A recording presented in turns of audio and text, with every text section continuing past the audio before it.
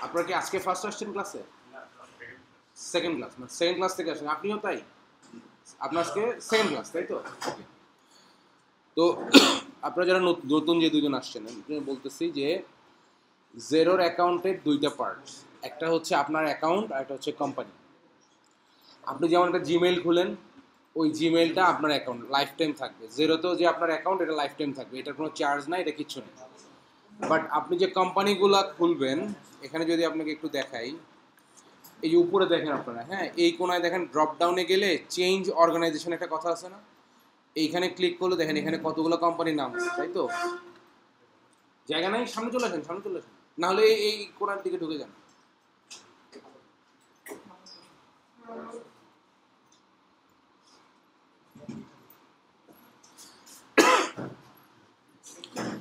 আচ্ছা এই ওই পাশে যারা আছেন, ভাইয়া গেটটা একটু লাগা দেন সেটা চলতেছে তো। হাওয়া বের হয়ে যাচ্ছে ওকে আচ্ছা। আপনাদের জন্য একটু ধারণা দিচ্ছি, সেটা হচ্ছে, এখানে দেখেন, আমার জেরোতে এক, দুই, তিনটা কোম্পানি তাই না? এক্সপায়ার হয়ে যাবে হচ্ছে এই কোম্পানি বাট আপনার যে জেরোর অ্যাকাউন্টটা এইটা কখনো এক্সপায়ার হবে না এটা লাইফ টাইম আপনার জেরোর অ্যাকাউন্ট লাইফ টাইম বাট আপনি যে কোম্পানিগুলোর কাজ করবেন, তারা যদি মান্থলি পেমেন্ট না করে, তাহলে এখান থেকে গায়েব হয়ে যাবে। মানে এটা এক্সপায়ার হয়ে যাবে। বুঝতে পারছেন? তার মানে আমরা এক মাসের ট্রায়াল যেটা ব্যবহার করছি, সেই এক মাসের ট্রায়ালটা মূলত কোম্পানির লাইফ টাইম আপনার অ্যাকাউন্টের টাইম কিন্তু একদম ফুল লাইফ অ্যাকাউন্টের কোনো মেয়াদ নাই ওকে কোম্পানিগুলো এক্সপায়ার হয়ে যায় এক মাস পরে। তার মানে যখন আমার এক মাস পর কোম্পানিটা এক্সপায়ার হয়ে যাবে, আমি জাস্ট এই যে এখান থেকে অ্যাড নিউ অর্গানাইজেশনে গিয়ে আমি নতুন একটা কোম্পানি খুলে ফেলব, তাহলেই হয়ে যাবে। অসুবিধাটা কি? আপনি প্রথম দিকে যে জিনিসগুলো আপলোড করছেন, সেগুলো পাবেন না, সেগুলো নতুন করে আপলোড করতে হবে। এটাও কোনো অসুবিধা না বরং এটা আরও ভালো। একটা ডাটা যখন আপনি দুই, তিনবার আপলোড করবেন, তখন আলটিমেটলি সেটা আপনার প্র্যাকটিস হয়ে যাবে। তখন আপনার ক্লায়েন্টের ক্ষেত্রে এই ডাটাগুলো আপলোড করা আপনার জন্য কোনো ব্যাপারই হবে না। ওকে এখন যারা নতুন আসছেন, তারা কি ফেসবুক গ্রুপে অ্যাড হয়েছেন? মেসেঞ্জার গ্রুপ রাইট মেসেঞ্জার গ্রুপে কি অ্যাড হয়েছেন? আপনি আপনি হয়েছেন? হ্যাঁ ওকে এখন আমি যেটা করছি, আমি এই মেসেঞ্জার গ্রুপে এটা আবার কি চাই?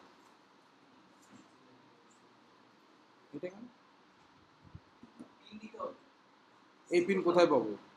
স্কিপ ফোন নাও করে দেবো আচ্ছা। এইটা হচ্ছে আপনাদের মেসেঞ্জার গ্রুপ আচ্ছা একজন, আপনি আপনি হয়েছেন তো না? এই গ্রুপ এটা আপনি? আপনি আগে হয়েছেন। ওকে আচ্ছা এখন যেটা হচ্ছে কি, আমি দুইটা ক্লাসের লিঙ্ক আপনাদেরকে দিয়ে দিব। এই লিঙ্ক দুইটা দেখে খুব ডিটেল এক্সপ্লেন করে বলা আছে, তাই না? আগের ক্লাসগুলো যদি দেখেন ডিটেল এক্সপ্লেন করে বলা আছে, আপনাদের কোনো প্রবলেম হওয়ার কথা না। আপনারা এই ভিডিও দুইটা দেখে, আপনারা কি জিরো অ্যাকাউন্ট খুলছেন আগে কখনো? খোলেন ওকে তো আপনি, আজকে হচ্ছে থার্ড ক্লাস এই ক্লাসটার আগে আপনি যেটা করবেন, এখন যে লিঙ্ক দুইটা গ্রুপে দিচ্ছি এটা ওনারা সবাই পেয়ে গেছেন, ওনার ক্লাস শেষে পেয়ে গেছেন, আপনারা এখনও পাননি। এই গ্রুপে আমি লিঙ্ক দুটো দিচ্ছি, এই লিঙ্ক দুইটা আগে দেখে জিরো অ্যাকাউন্টটা ওপেন করবেন এবং সেটিং করবেন।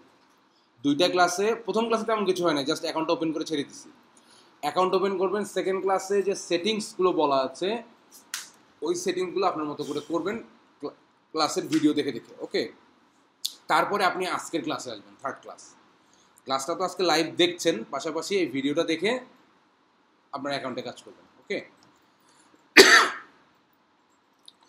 কি কি যেন ছিল প্রথম class account opening and company settings এই দুটোই তো কথা। কি অবস্থা? আমার ভিডিওতে আমাকেই add Density connects to DJ Text to record a এটা হচ্ছে জেরোর ওয়েবসাইট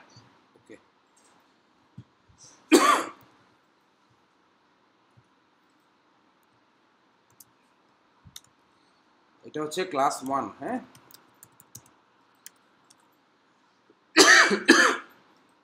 এরপরে আসেন ক্লাস টু সেটিংস আচ্ছা সেটিংসটা এর মধ্যেই থাকার কথা, তারপরে সেটিংসটা আলাদা করে যদি থাকে আমি দিচ্ছি।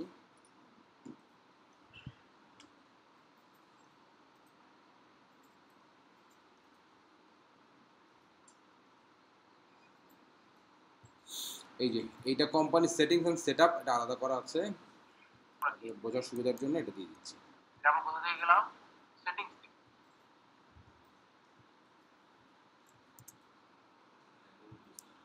এটা হচ্ছে ক্লাস টু ওকে নতুনদের জন্য।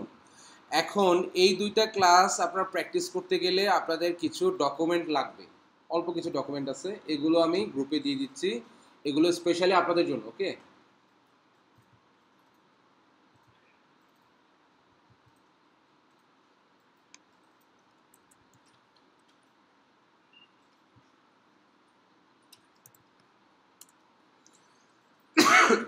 এখন এই ডকুমেন্টটার কাজ কি আপনি ক্লাস দেখলেই বুঝতে পারবেন ওকে এই দুটো ডকুমেন্টটাকে ডাউনলোড করে নেবেন। আর একটা জিনিস যদি পারেন ইউটিউবে যে ভিডিও এগুলো তো ইউটিউবে দিচ্ছি আমি হ্যাঁ? কারণ ড্রাইভে তো আসলে এত জায়গা হয় না। ইউটিউবে যখন দেখবেন, পারলে ইউটিউব থেকে ডাউনলোড করে নিজের পিসিতে রেখে দেবেন তাহলে হবে কি, যদি কখনো এমন হয় যে ইন্টারনেট কানেক্টিভিটি নিয়ে সমস্যা বা এরকম, তাহলে আপনার পিসি থেকে আপনি ওপেন করে দেখতে পাচ্ছেন। ইন্টারনেটের উপর আর ভরসা করতে হবে না। ওকে তাহলে নতুন যারা ছিলেন, তাদের জন্য এই ইনফরমেশন আর পুরনো যারা আছেন, তাদের জন্য এখন ক্লাস শুরু হবে। মানে নতুন পুরনো সব মিলিয়ে আর কি হ্যাঁ? আচ্ছা দেখেন, এই যে এই পোর্শনটা দেখতে পাচ্ছেন, এইটা হচ্ছে আপনার জেরো ড্যাশবোর্ড ওকে ড্যাশবোর্ড আমরা কোনটাকে বলি? যেখানে আপনার টোটাল কর্মকাণ্ডের সামারি পাওয়া যায়, যে কোনো সফটওয়্যার বলেন আর যে কোনো ওয়েবসাইট বলেন ওকে আপনি যা যা করছেন, সেটার যে একটা সামারি যেখানে পাওয়া যায়, সেটাকে আমরা ড্যাশবোর্ড বলি। এখন এই জেরোতে দেখেন, এইখানে একটা পোর্শন আছে, এই পোর্শনটা যারা নতুন, তারা এই পোর্শনটা ওপেন করলে এখানে সেটিংস আছে, এখানে কাজ করতে পারবেন মানে আপনি এই জায়গাটা আগে দেখতে পারবেন। বাট এটা এক সপ্তাহ আগেও এই যে চেঞ্জ অর্গানাইজেশন এইটা এখানে ছিল না। এটা ওরা চেঞ্জ করছে হ্যাঁ? এইটার এখানে ক্লিক করলে যে কোম্পানিগুলো দেখায় এখানে, এই কোম্পানিগুলো আগে এই সাবস্ক্রিপশনের নিচে এখানে সিরিয়ালি দেখায় ওকে মানে আমরা এই ড্রপ ডাউনে ক্লিক করলে এখান থেকে কোম্পানিগুলো সিলেক্ট করতে পারতাম। বাট এখন যেটা আছে, এখন হচ্ছে এই চেঞ্জ অর্গানাইজেশনে ক্লিক করতে হয়। ক্লিক করলে এখানে কোম্পানিগুলো দেখায় আর অ্যাড এ নিউ অর্গানাইজেশন এখান থেকে নতুন অর্গানাইজেশন ওপেন করতে হয়। যেমন আপনাদের যখন এক মাস পর এটা এক্সপায়ার হয়ে যাবে, তখন এই যে অ্যাড এ নিউ অর্গানাইজেশনে গিয়ে প্রথমবার যেভাবে কোম্পানি খুলেছেন, ঠিক সেভাবে কোম্পানি খুললেই কিন্তু হয়ে যাচ্ছে।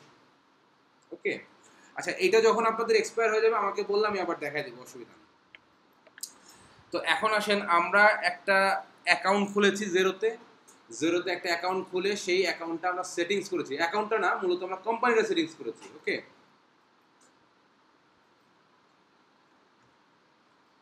এখন জেরো সফটওয়্যার মূলত কাজ কি? এটা একটা ট্রেডিং সফটওয়্যার সোজা কথা। ট্রেডিং সফটওয়্যার বলতে, ধরেন এটা একটা প্রোডাক্ট আমি একজনের কাছ থেকে কিনবো, আমি কিনবো।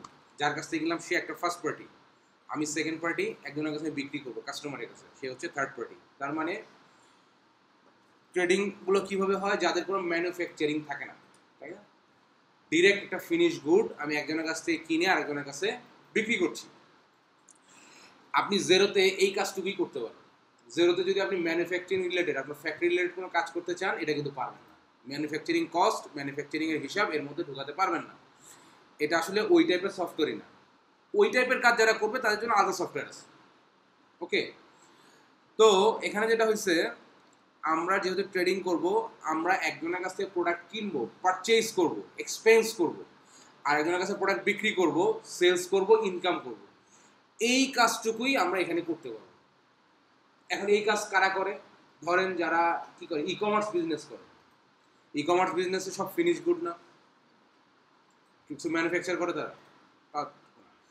একজনের কাছে প্রোডাক্ট আনে, আরেকজনের কাছে বিক্রি করে, তার একটা প্ল্যাটফর্ম তার মানে এই ধরনের ব্যবসা যারা করে, এরপর যারা ধরেন কনস্ট্রাকশন বিজনেস করে, তারা কি করে? কনস্ট্রাকশন বিজনেস কিন্তু ম্যাক্সিমামই কিছু বানায় না। তারা রড সিমেন্ট ইট, বালি সব কিনে আনে। এনে তারা কনস্ট্রাকশনে ব্যবহার করে। তার কতজন লেবার কাজ করতেছে, এই কাজ করতেছে, সেই ওখান থেকে তারা হিসাবটা বের করে। তো কনস্ট্রাকশন বা রিয়েল এস্টেট কোম্পানির জন্য এই সফটওয়্যারগুলো খুবই ফিজিবল তারপর হচ্ছে আপনার ই কমার্স বিজনেসের জন্য ফিজিবল এবং মিডিয়াম এবং ছোট ছোট বিজনেস যাদের আছে হ্যাঁ তাদের জন্য এটা অনেক ফিজিবল এবং যাদের ফ্যাক্টরি আছে প্রোডাকশন রিলেটেড কাজ, তাদের এটা কোনো কাজ নেই। ওই ধরনের কাস্টমার মানে ওই ধরনের ক্লায়েন্ট আমাদের টার্গেটেই থাকা যাবে না ওকে আচ্ছা এখন দেখেন, আমরা যখন এটা ওপেন করে সেটিংস করেছি, আমরা কি বলেছি? যে এই যে উপরের যে কয়েকটা ই দেখতে পাচ্ছেন, একটা হলো ড্যাশবোর্ড, একটা business, accounting, payroll, project contacts. এইটা হচ্ছে আপনার, এটাকে বলে নেভিগেশন প্যানেল। ওকে? এই নেভিগেশন প্যানেল দিয়ে আমরা অ্যাকাউন্টিং রিলেটেড যে যত ধরনের কাজ আছে, অ্যাকাউন্টিং প্রিন্সিপালের যত ধরনের কাজ আছে, সব কাজগুলো আমরা করব এই নেভিগেশন প্যানেল থেকে। ওকে? এছাড়া আরও কিছু শর্টকাট আছে। শর্টকাটগুলো ফিক্স এগুলো চেঞ্জ করা যায় না। সেটা পাবো আমরা কোথায়? এই যে প্লাস আইকনে প্লাসে ক্লিক করলে এখানে দেখেন শর্টকাট আছে অনেকগুলো। এগুলো ভিতরেও আছে হ্যাঁ? এগুলো এখানেও আছে। এটাকে বলে কুইক ক্রিয়েট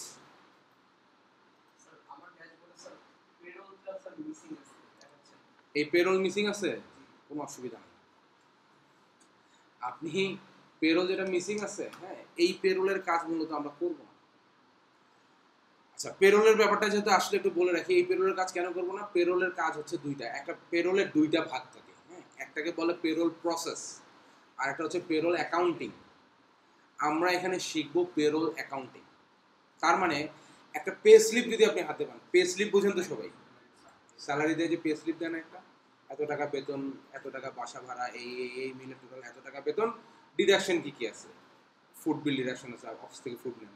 ট্রান্সপোর্ট আছে এইসব ডিডাকশন করে টেক হোম বলি না আমরা নেট পে কত?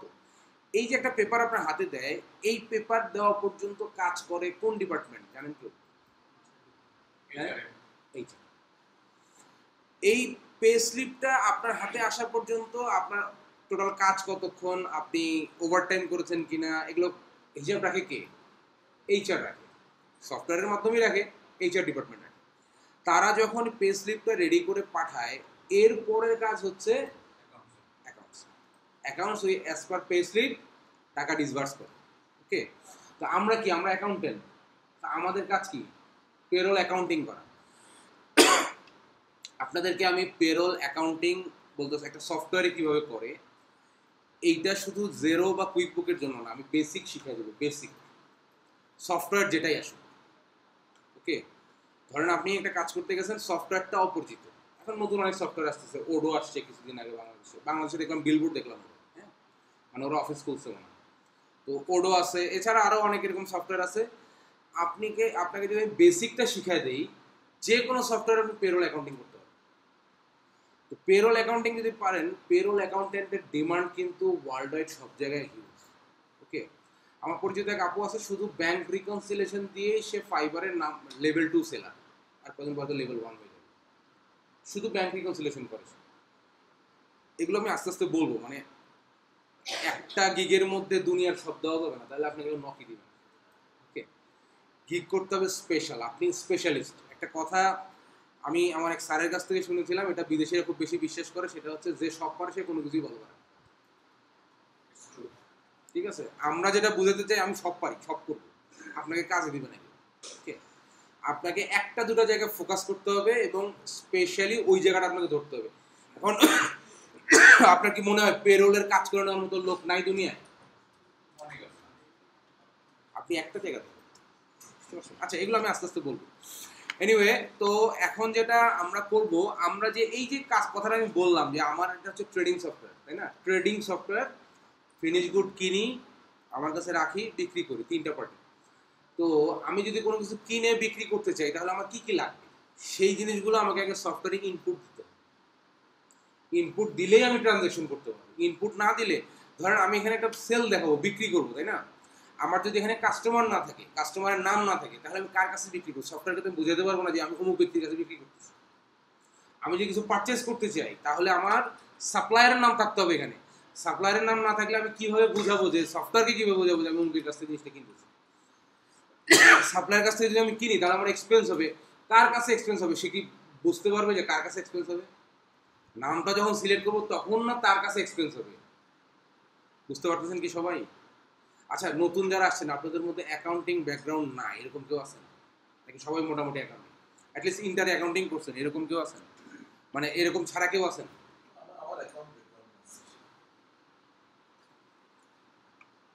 কেন বললাম?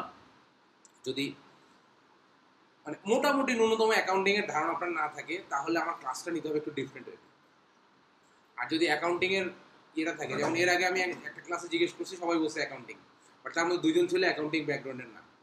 আপনি না? ওকে যিনি আপনি তো আসতেছেন আমার হ্যাঁ? না না এখানে না এখানে না অন্য ক্লাস হ্যাঁ একদম ছিল অ্যাকাউন্ট ছিল। ওই না ওই যে ভাইয়া আছে সমস্যা নেই। আমার স্যার অ্যাকাউন্টস ব্যাকগ্রাউন্ড না বাট প্র্যাকটিক্যাল নলেজ আছে। হ্যাঁ চলবে প্র্যাকটিক্যাল নলেজটাই আসলে মূল জিনিস। তো যেটা হচ্ছে কি, উনি একদিন আমাকে একদিন ফোন করে বললেন যে, উনি আমার কথা বুঝতে পারেন না। হ্যাঁ? আমি তো টেনশন করে বললাম কীভাবে কথা বলছি উনি বুঝতে পারেন না? তো আমি ওনাকে অনেকভাবে বোঝানোর চেষ্টা করলাম, আমি বললাম, ঠিক আছে, তাহলে একটা কাজ করি, আপনার ক্লাস তো পাঁচটায়, আপনি একজন স্কুল টিচার ওনার একটার মধ্যে স্কুল শেষ হয়ে যায়। বললাম, আপনি এক ঘণ্টা আগে আসেন। আপনার সাথে আমি আলাদাভাবে এক ঘণ্টা বসবো। তো উনি আর আসলেন না হ্যাঁ? পরে আমি যেটা ফাইন্ড আউট করলাম যে উনি আমার কথা বুঝেন না তা না, উনি আসলে অ্যাকাউন্টিং টার্মসগুলো বুঝেন যার কারণে আমার ক্লাসটা আমার ভালো লাগে না। যেহেতু টার্মস না বুঝলে তো আসলে কি বোঝাচ্ছে এটা তো আর বুঝতে পারে না। এই জন্য জিজ্ঞেস করে ওকে এখন এখন পর্যন্ত যা বলছি, এটা কি বুঝতে পারছেন? এখন দেখেন, একটা ট্রানজ্যাকশন যদি ধরেন আমি একটা সেল করতে চাই, বিক্রি দেখাইতে চাই সফটওয়্যারে কি হয়? সফটওয়্যারে যা আমরা এন্ট্রি দিই তা কিন্তু সব পাস্ট টেন্স মানে আগে ঘটনা ঘটে গেছে। বিক্রি আমি করে ফেলছি, সেটাকে আমি সফটওয়্যারে সেল দেখাচ্ছি এন্ট্রি দেখাচ্ছি, তাই না? অ্যাকাউন্টিং এর তাই করি। আপনি কথাগুলো খুব খেয়াল করবেন, যেখানে আপনার কথাটা বুঝতে পারবেন না, সেখানে আমাকে সাথে সাথে বলবেন যে, আপনার এই কথাটা আমি বুঝতে পারি কোনো অসুবিধা নেই ওকে তো অ্যাকাউন্টিং এ আমরা কি করি? অ্যাকাউন্টিং এ হচ্ছে একটা জিনিস আগে বিক্রি করে ফেলি। বিক্রি করে ফেলে আমরা সফটওয়্যারে এন্ট্রি দিই, তাই না? অনেক সময় সফটওয়্যারে এক দুদিন পরেও এন্ট্রি দিই। তার মানে আমার এই সফটওয়্যারে যা ঘটে এখন যা ঘটবে সেটা অলরেডি আমার ঘটে গেছে। ওকে সেটাই জাস্ট আমি এখানে রেকর্ড করতেছি। রেকর্ড করতেছি। বুক কিপার কি করে? বুক কিপার কিন্তু শুধু এই রেকর্ডের কাজটাই করে। বুক কিপার কিন্তু অ্যাকাউন্টেন্ট না। অ্যাকাউন্টেন্ট কি করে? অ্যাকাউন্টেন্ট ডিসিশন নেয়। ওকে বুক কিপারও অ্যাকাউন্টিং নলেজ থাকতে হবে তা নাহলে সে সঠিক জায়গায় এন্ট্রি দিতে পারবে না। বাট যে বুক কিপার তার কাজ হচ্ছে ক্লারিক্যাল লেভেলের কাজ। তার ডিসিশন মেকিং কোনো কাজ না সে শুধু এন্ট্রি দিবে। আর অ্যাকাউন্টেন্ট কি করে? অ্যাকাউন্টেন্ট কিন্তু ডিসিশন নেয়। একটা চার্ট অফ অ্যাকাউন্ট খুলবেন উনি কি নামে খুলবেন? এটা কিন্তু বুক কিপার ডিসিশন নেবে না। ডিসিশন নেবে অ্যাকাউন্টেন্ট বাট ওই চার্ট অফ অ্যাকাউন্টে কি কি জিনিস রাখবে, এইটা বলে দিবে, এই কাজটা করবে হচ্ছে বুক কিপার ওকে আচ্ছা এখন দেখেন, ও আচ্ছা যেটা বলতেছিলাম, তো আমার ধরেন একজনের কাছে একটা যে বিক্রি করতে চাই আচ্ছা এই কথাটা বলার একটা কথা বলে রাখি। যখন আমরা এই জেরো বা কুইক বুকসের কাজ করব তখন বাংলাদেশি কনসেপ্টগুলো মাথার থেকে বের করে টেবিলে রেখে দেবে কারণ আপনার ক্লায়েন্ট বাংলাদেশি না। আপনি যে কাজ করবেন সেটা বাংলাদেশি কোনো কনসেপ্ট সেখানে কাজ করবে না। যার কারণে আপনি যদি চিন্তা করেন যে এটা এটা কেমনি হলো এটা তো এভাবে হবে না। এটা এভাবেই হবে। বা এই জন্যই বলছি বাংলাদেশি কনসেপ্টগুলো সব মাথা থেকে বের করে টেবিলে রেখে দেবেন। দিয়ে আপনি চিন্তা করবেন যে আপনি এখন আছেন কোথায় ইউকেতে ইউকেতে বসে কাজ করতেছেন। হ্যাঁ। তো একটা সেল করতে গেলে আমার কি কি লাগবে? আমাকে, আমার ওই ব্যক্তিটাকে লাগবে। যে জিনিসটা সেল করব, এই প্রোডাক্টটাকে লাগবে। এই প্রোডাক্টটাকে আমার সফটওয়্যারে দেখাইতে হবে যে সফটওয়্যার এইটা হচ্ছে আমার প্রোডাক্ট এই নামে প্রোডাক্ট আছে, ওই ব্যক্তির কাছে বিক্রি করব। তার মানে আমার কাস্টমার বা সাপ্লায়ার যার কাছে কিনি বা বিক্রি করি, সেই লোকটাকে লাগবে প্রোডাক্টটাকে লাগবে, যা এই প্রোডাক্টটা কিনেই তো আমি বিক্রি করব, তাই না? এই প্রোডাক্টটাকে লাগবে। তাহলে তিনটা জিনিস লাগল সাপ্লায়ার কাস্টমার প্রোডাক্ট আর কি লাগবে? প্রোডাক্টের ধরেন ব্যালেন্স লাগবে মানে কতগুলো প্রোডাক্ট আমার কাছে আছে, এই ব্যালেন্সগুলো লাগবে। আর প্রতিটা ট্রানজ্যাকশনে আমার ট্যাক্স লাগবে ওখানে কিন্তু, বিদেশে কিন্তু পার ট্রানজ্যাকশনের ট্যাক্স ব্যবহার হবে একটা হচ্ছে আপনার ইনকাম ট্যাক্স সেটা ডিফারেন্ট জিনিস। আরেকটা হচ্ছে আপনি যখন কোনো কিছু পারচেজ করেন বা সেল করেন, সেখানকার উপর পারচেস ট্যাক্স বা সেলস ট্যাক্স বোধ থাকতে পারে। ট্যাক্স আপনাকে দিতেই হবে। আমার এক স্টুডেন্ট আছে ক্যানাডিয়ান ওনার হাজব্যান্ড উনি যেটা বললেন ফোরটি টু পার্সেন্ট ট্যাক্স দেন ইনকাম ট্যাক্স উনি ইঞ্জিনিয়ার মানুষ, বাংলাদেশে ছিলেন এক সময় এখন ক্যানাডা সিটিজেন তো। উনি একশো ডলার ইনকাম করলে বিয়াল্লিশ ডলার উনি গভর্নমেন্টকে দিয়ে দেন ট্যাক্স হিসেবে। বাকি কত থাকে? আটান্ন টাকা, তাই না? আটান্ন ডলার থাকে। তা আমাদের সে হলে তো আমরা মনে হয় যে বুক ফেটে মরে যেতাম যে এতগুলো টাকা দিয়ে দিই আসলে ওদের কষ্ট লাগে না, কারণ কি ওরা ফ্যাসিলিটি পায়। এই যে ট্যাক্সটা দিচ্ছে না ফ্যাসিলিটি পায়। ওদের হয়তো বা মেডিকেলটা ফ্রি মেডিকেল মানে আমাদের মতো ফ্রি না। হ্যাঁ। না, এই যে যাদের গাড়ি আছে, গাড়ির যে ট্যাক্স দেন পনেরোশো সিসির গাড়ির ট্যাক্স হচ্ছে পঁচিশ হাজার টাকা, তাই না? পঁচিশ হাজার টাকা ট্যাক্স আর যদি আঠারো সিসি হয়, তাহলে পঞ্চাশ হাজার টাকা ট্যাক্স পার ইয়ার পঞ্চাশ হাজার টাকা করে আপনি ট্যাক্স দেন। একটা রাস্তা দেখেন তো ভালো আছে। তো রোড ট্যাক্স নেই তো, তাই না? রাস্তাঘাট ঠিক করার জন্য তো গাড়িটা চলবে, এই জন্য ট্যাক্স নেই। রাস্তা কোথায় ঠিক আছে? তো ওদের ওখানে মানুষ ট্যাক্স দিতে কোনো এ ফিল করে না যে আমি ট্যাক্স দিচ্ছি, আমি যেটা গভর্নমেন্ট পে করতেছি তো। এই যে করোনার দুই বছর না দেড় বছর, ওরা প্রত্যেকটা নাগরিকের ব্যাংক অ্যাকাউন্টে টাকা পাঠাইছে গভর্নমেন্ট প্রত্যেকে পাঠাইছে। যারা ইনকাম করছে, যারা ট্যাক্স দিচ্ছে বাকিরা ওদের মধ্যে ডিস্ট্রিবিউট করছে, কোনো সমস্যা নেই। তো যাই হোক, তো ওরা কি করে? ওরা মেডিকেল ফ্রি পায়। মেডিকেল মানে আমাদের মতো মেডিকেল না। যে একটা সরকারি মেডিকেলের কমিউনিটি সেন্টার কি বলে কমিউনিটি মেডিকেলের বসে আছে। ওই ডাক্তার ছয় মাস পর বা তিন মাস পর দুই দিন যায়, ওই দেখে আসেন ওইরকম না। একদম টপ লেভেলের ফ্যাসিলিটি এমনকি আমি যে কোম্পানিতে চাকরি করি, আমরা একটা রিক্রুটিং এজেন্সি আমরা বিভিন্ন হসপিটাল এবং কেয়ার হোমে ডাক্তার এবং নার্স সাপ্লাই দিই ইউকেতে কোম্পানি ইউকেতে আমরা ব্যাক অফিসে কাজ করি বাংলাদেশে। তো সেখানে যেটা হয়, ওদের যে কেয়ার হোম কেয়ার হোম মানে বৃদ্ধাশ্রম বলে আর কি। মানে একটা সার্টেন এজের পর ওরা ওখানে যে থাকে। এই কেয়ার হোমগুলো আমাদের ফাইভ স্টার হোটেলের থেকে কম। বুঝতে পারছেন? কেয়ার হোম কোথায় বানানো জানেন? বিচের পাশে। বুড়া বয়সের লোকজন একটু বিচের পাশে বসবে, ওরা তো একটু মদ টদ খায়, মদ খাবে বিচে দেখবে, মাছ ধরবে হ্যাঁ? ওরা, ওদের হচ্ছে এইরকম ফ্যাসিলিটি তো ওদের সাথে কখনোই আমাদের ব্যবসার তুলনা করবেন না। যার কারণে প্রতিটা ট্রানজেকশনে আপনার ট্যাক্স লাগবে। ট্যাক্স ছাড়া আপনি এখানে কোনো কিছু ইনপুটই দিতে পারবেন না এই সফটওয়্যারে তো ট্যাক্স লাগবে, আর কি লাগবে? আর লাগবে চার্ট অফ অ্যাকাউন্টস এখন চার্ট অফ অ্যাকাউন্টস কে কে বুঝেন না হাত চার্ট অফ অ্যাকাউন্টস এই শব্দটার সাথে পরিচিত না কে কে? আপনি আপনি। বাকিরা সবাই চার্ট অফ অ্যাকাউন্টস বুঝেন। তারপরেও ধরো অনেকের অনেকদিন প্র্যাকটিস নাই, অনেকের অনেকদিন এই লাইনে নাই। এরকম যদি না হয়, কেউ যদি না বুঝেন, তাহলে বলেন। দুইজন ওকে অসুবিধা নেই। ধরেন আমরা আপনার বাসায় আপনার বাসায় আপনি সারা মাসে বিভিন্ন কিছু খরচ করেন, তাই না? এখন আপনি চিন্তা করলেন কি যে আমি এই খরচটা লিখে রাখব? হতে পারে না এরকম? চিন্তা হতেই পারে, লিখে রাখব। এখন আপনি একটা খাতা বের মানে খাতা করলেন যে খাতার উপরে নাম লিখলেন এক্সপেন্স খরচের খাতা। আপনার বাসারই খরচের খাতা। এখন এই খাতাটার মধ্যে মানে আপনার টোটাল খরচের খাতা হতে পারে বা এটার মধ্যে বিভিন্ন সেকশন থাকতে পারে। সেকশন কীরকম? ধরেন ফার্স্ট সেকশন আমার ট্রাভেলিং এক্সপেন্স আমি যে বাসার থেকে বাইরে যাই, বাচ্চাকে স্কুলে রাখতে যাই বা আমি মার্কেটে যাই, এই ধরনের খরচগুলো আমি এখানে লিখি। তারপরে লিখলেন কি, বাসার বাজারের এক্সপেন্স লিখলেন। বাজার খরচ। মানে আপনার যে এক্সপেন্স খরচের যে খাতা, এটার মধ্যে কয়েকটা সেকশন থাকতে পারে, অথবা আপনি আপনার মতো করে টোটাল ডেইলি এক্সপেন্স এক্সপেন্সের আন্ডারে লিখতে পারেন। এখন এই যে খাতাটা আপনি করলেন, এই খাতাটার একটা খরচের খাত যাচ্ছে না এখানে? মানে খরচের খাতগুলো লেখা হচ্ছে না? এক্সপেন্স তো লিখতেছেন। এই খাতাটার নাম হচ্ছে চার্ট অফ অ্যাকাউন্ট। বুঝছেন? মানে এই খাতার নাম হচ্ছে একটা অ্যাকাউন্ট এক্সপেন্স অ্যাকাউন্ট তো এইরকম ধরেন যে অনেকগুলো খাতা মিলে এগুলো চার্টস অফ অ্যাকাউন্ট হয় আর কি। তো আমরা একটাকে চার্ট অফ অ্যাকাউন্ট বলি হ্যাঁ? তো ধরেন আজ থেকে দশ পনেরো বছর আগে কেউ ব্যাংকে গেছিলেন, টাকা তুলতে চেক দিয়ে। মনে আছে সেই সময়? এখন তো কম্পিউটার একটু ইয়ে দিয়ে দেয়। আগে কি করতো?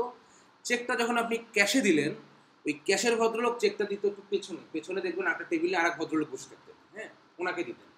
উনি করতেন কি? ওই চেক নাম্বার দেখে পিছনে দেখবেন বড় বড় লেজার রাখতো এরকম রেজিস্টার হ্যাঁ? পালাম খাতা রাইট যারা আগের মানুষ তারা বুঝবেন।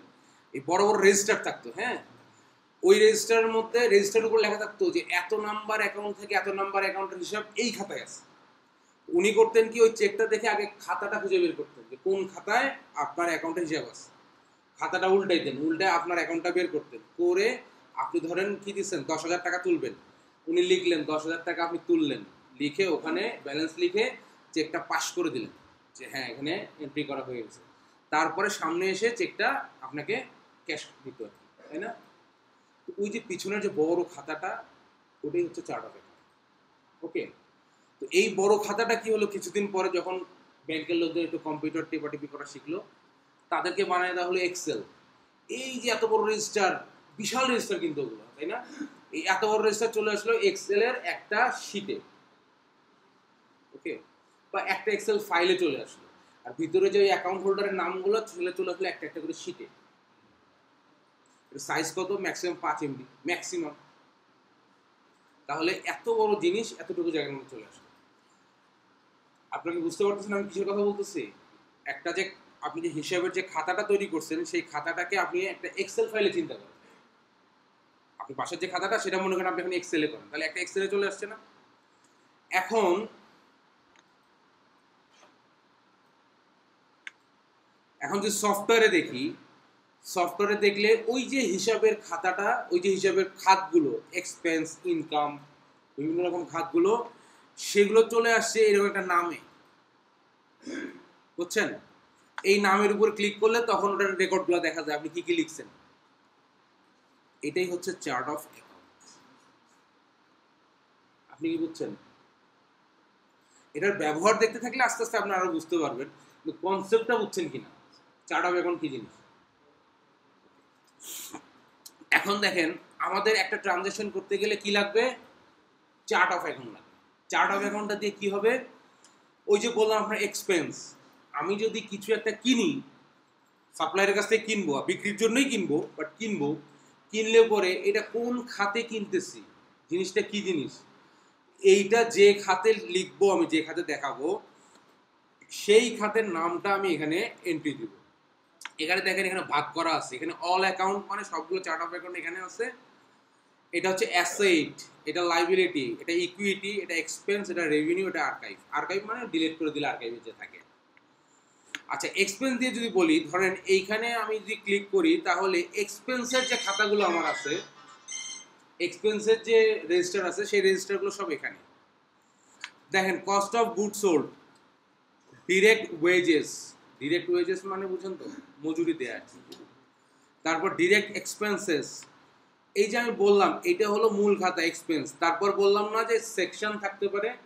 তো ধরেন যে এগুলো হচ্ছে তার সেকশন এক্সপেন্সের আন্ডারে সবগুলো আছে ওকে এখন এগুলো কিন্তু আপনি মানে ডিরেক্টলিও রাখতে পারেন এক্সপেন্সের আন্ডারও রাখতে পারেন, এটা অসুবিধা নাই। বাট আপনি মনে করেন যে খরচের খাতগুলো এখানে আছে। এই কয়টা খাতে যে আপনার লাগবে তা না, এর থেকে বেশিও লাগতে পারে, সেগুলো আমরা অ্যাড করা শিখব ওকে আসেন ঠিক আছে? এই পর্যন্ত বুঝলেন কিনা? মানে বুঝলেন কিনা বলতে কি সব মনে রাখতে হবে না। কনসেপ্টটা মাথায় আছে।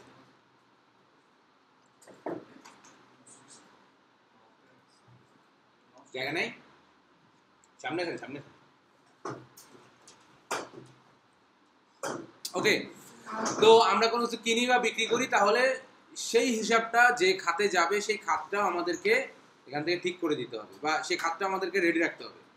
তার মানে আমরা এখন শিখব হচ্ছে ট্যাক্স অ্যাড করা সিস্টেমে তারপর চার্ট অফ অ্যাকাউন্ট অ্যাড করা, তারপর শিখব প্রোডাক্ট অ্যান্ড সার্ভিস তারপর শিখব কনট্যাক্স কনট্যাক্স বলতে বোঝায় হচ্ছে সাপ্লায়ার এবং কাস্টমারকে কম্বাইনলি বলে কনট্যাক্স ওকে আমি যার কাছে প্রোডাক্ট বিক্রি করব, সে চলে যাবে আমার সাপ্লাই সরি কাস্টমার লিস্টে আর যার কাছে প্রোডাক্ট কিনবো, সে চলে যাবে আমার সাপ্লাই লিস্টে বা ভেন্ডার লিস্টে ওকে এই ওভারঅল কনসেপ্টটুকু ওভারঅল কথাটুকু আপনি বুঝতে পারলেন কিনা? বুঝতে না পারলে বলেন। কথা মনে রাখতে হবে না আপনি বুঝছেন কিনা? কারণ আপনাকে তো আমি আমার এই কথার রেকর্ডিং সহ এই আমার স্ক্রিনের ভিডিও সহ আপনাকে দিয়ে দিব। ভুলে গেলে ভিডিও দেখলে মনে করে দেবো। কিন্তু এই মুহূর্তে কনসেপ্টটা ক্লিয়ার হয়েছে কিনা? বুঝতে তারপরে আমি আমি কেন বলতেছি অনেকেই ধরেন যে প্র্যাকটিসে নাই। আপনাকে তো সার্বজনীন চিন্তা করতে হবে, সবাইকে। হ্যাঁ হ্যাঁ ওটাই বলছি, অনেকে ধরেন প্র্যাকটিসে নাই। অনেকে ধরেন যে মানে আমার পরিচিত এক ভদ্রলোক গত পরশু দিন তাকে দেখছি। আমি তিনি দুই হাজার তিন সালে অ্যাকাউন্টিংয়ে বিকম করেছেন, তারপরে সতেরো বছর বা পনেরো বছর চাকরি করেছেন হচ্ছে হোটেল ইন্ডাস্ট্রিতে অ্যাকাউন্টিংয়ের সাথে ওনার কোনো যোগাযোগই নেই। হতে পারেন এরকম অনেকে? এই জন্য বলতেছি যে, এইটুকু বুঝছেন কিনা সবাই আপনি একটু হেল্প করেছেন হুম। মানে আমাদের আসলে বিশেষ করে বাংলাদেশে এমন ক্যারেক্টার আছে ম্যাক্সিমাম অনেকের সাথে কথা বলে সেগুলো অনেকে বুঝে না। কিন্তু হয়তো লজ্জার খাতিরে কে কি মনে করে? আরে না কে কি মনে করে চিন্তা করলে আপনি শিখতে পারবেন না।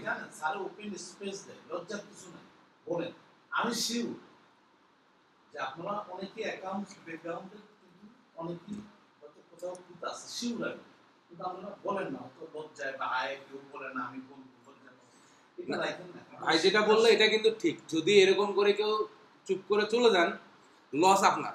আমি কিন্তু আমি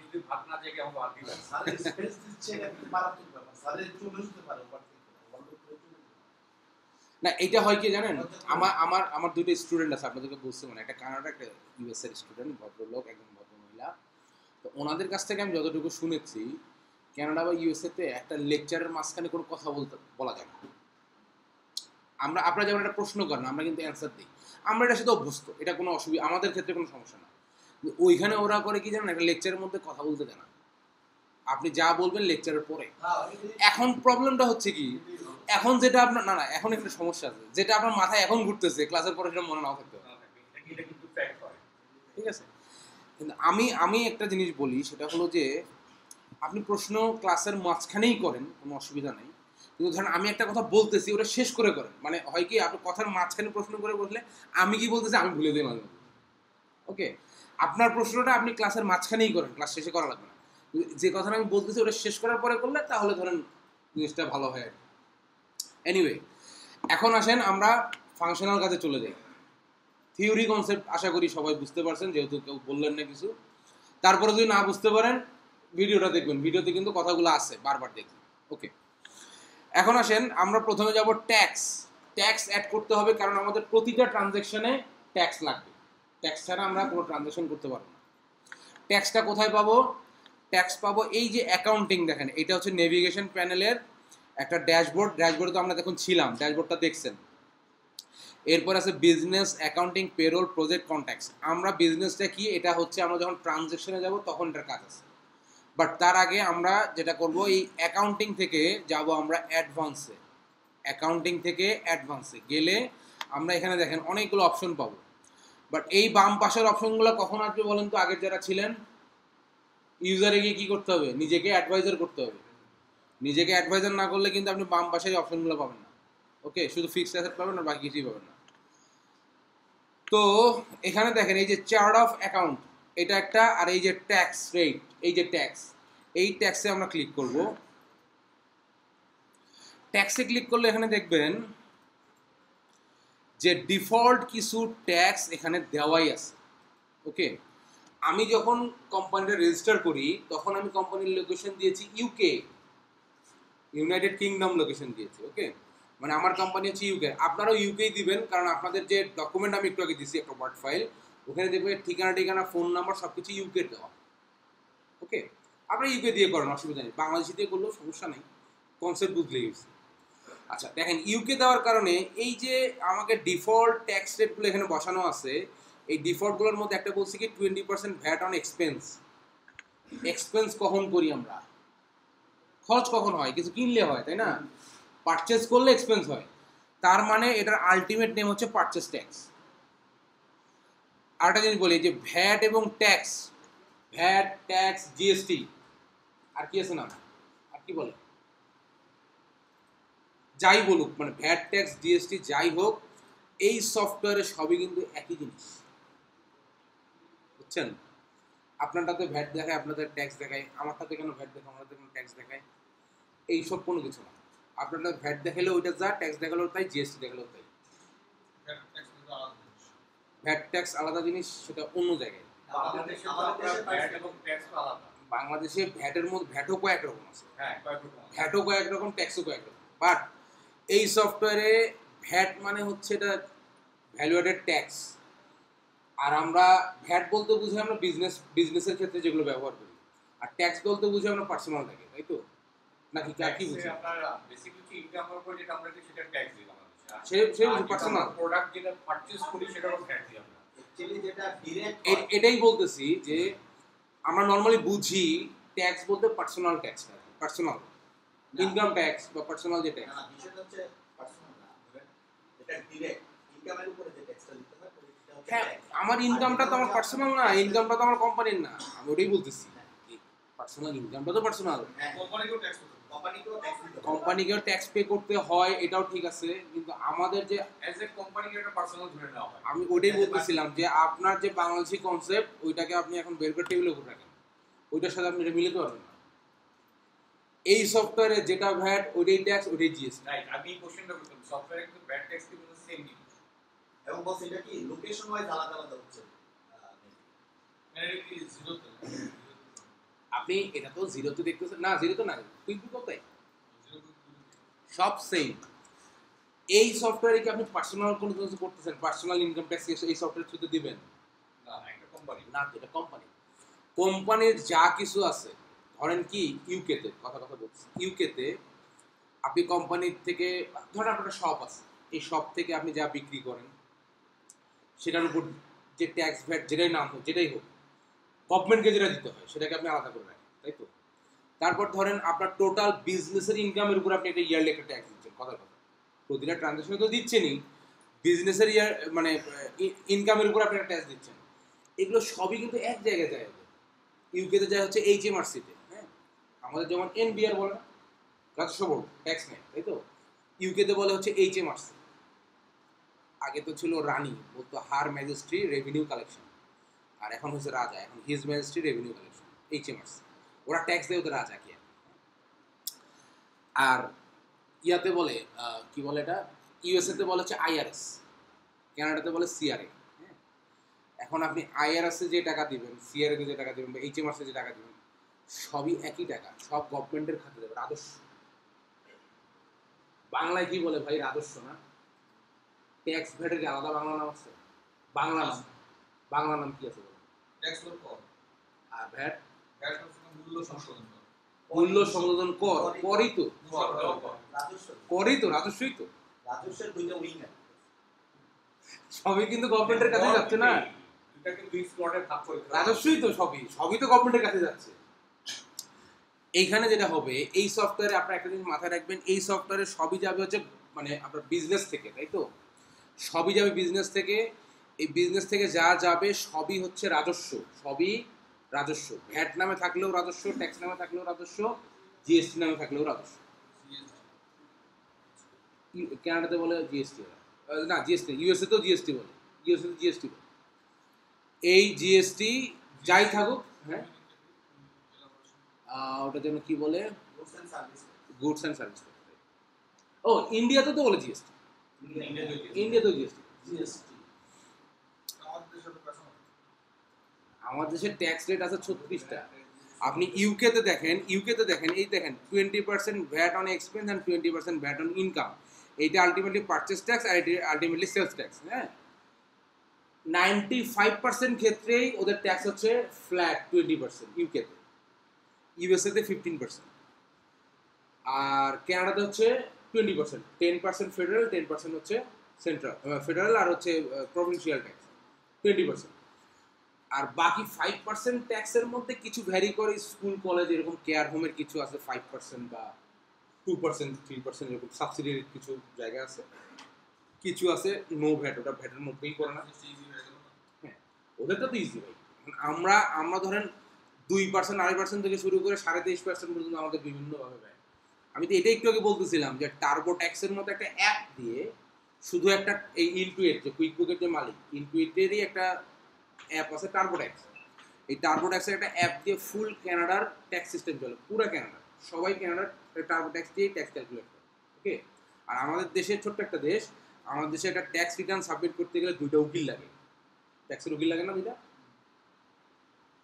কঠিন কোনটা? আমরা তো কঠিন না। এই জন্য আমরা-। এই জন্য আমরা বাইরের সহজ জিনিস শিখে বাইরে কাজ করব। না, আমাদের সরকার কিন্তু ভালো মানুষ সবাই ইনকাম করে ব্যবস্থা করে কিন্তু করে। আচ্ছা যাই হোক। তো আমরা এখন এই ট্যাক্সটা অ্যাড করব। দেখেন এখানে ডিফল্ট ট্যাক্স আছে। আমি আসলে ডানভাবের অনেক কথা বলতেছি কেন? যাতে আপনাদের কনসেপ্টগুলো ক্লিয়ার থাকে। ঠিক আছে। ওকে? আচ্ছা। এখন দেখেন এই ট্যাক্সটা অ্যাড করতে গেলে আমরা অ্যাড ট্যাক্স রেটে যাব। হ্যাঁ এখানে ক্লিক করব। এই ট্যাক্সটা কি করতেছি আমরা? সিস্টেমে অ্যাড করতেছি যে আমার দেখেন এটা একটু ক্যান্সেল করি। এই যে এখানে যতগুলো ট্যাক্স রেট দেখাচ্ছে না প্রতিটারই একটা করে ট্যাক্স সেন্টার ক্রিয়েট হবে। ট্যাক্স সেন্টার করে ধরেন আপনি একটা করে ট্যাক্সের বক্স ক্রিয়েট হবে। আপনি টোয়েন্টি পার্সেন্ট ট্যাক্স যেখানে অ্যাপ্লাই করবেন, একশো টাকার উপরে আমি এখানে ট্যাক্স দেবো টোয়েন্টি পার্সেন্ট তাহলে আপনার টোটাল টাকা দেখাবে একশো বিশ টাকা। এই বিশ টাকা চলে যাবে, এই যে টোয়েন্টি পার্সেন্ট ট্যাক্সের বক্সে ঢুকে যাবে। মনে করেন আপনি দশটা ব্যাংক কিনছেন, বিশ percent tax ten percent tax five percent tax ওই যে বিক্রি যে করলেন একশো টাকার তো বিক্রি করে আপনার কাছে আসলো, একশো বিশ টাকা আসলো টোয়েন্টি পার্সেন্ট একশো। এই বিশ টাকা দিন রাখলেন আপনি ওই টোয়েন্টি পার্সেন্ট ব্যাংকে মাটির ব্যাংক এটা কি করবেন? মাস শেষে এই ব্যাংক নিয়ে তো জমা দেবেন রাজস্ব বোর্ড। ওকে রাজস্ব বোর্ডের আবার একটা তার ঢুকানো আছে ব্যাংকের মধ্যে, রাজস্ব বোর্ড জানে কয় টাকা ঢুকতেছে এখানে। এই যে কুই মানে জেরোর সাথে গভর্নমেন্টের কিন্তু কানেকশন আছে। আপনি ওদের গভর্নমেন্টের যে, ধরেন বাংলাদেশের ধরেন কি বলে, রাজস্ব বোর্ড। রাজস্ব বোর্ডের কি বলে ওয়েবসাইটের সাথে এগুলো কানেক্ট করে রাখা যায়। এবং এই জেরো বা কুইক বুক থেকে যদি আপনি ট্যাক্স সাবমিট করেন, এটা হান্ড্রেড পার্সেন্ট অথেন্টিক ওরা এর বাইরে কোনো কথাই বলবে না। কারণ কি করছেন, আপনি প্রতিটা ট্রানজাকশন করছেন আর যে বিশ টাকা বিশ টাকা করে, বিশ টাকার বক্সে করছেন। পরে ওই বিশ টাকার ব্যাংকের মধ্যে কি আছে? ওই রাজস্ব বোর্ডের ক্যামেরা লাগানো আছে, তাই না? ও জানে যে সব বিশ টাকা এখানে আছে। বিশ টাকাটা জমা দিয়ে দিয়েছেন আপনার ট্যাক্স ফাইল বুঝছেন? তাহলে সহজ না জিনিসটা? এই জন্য তো বলছি যে ওখানে মানে বাংলাদেশি চিন্তাটা বাদ দিয়েই চিন্তা করবেন তাহলে এটা বুঝতে পারবেন।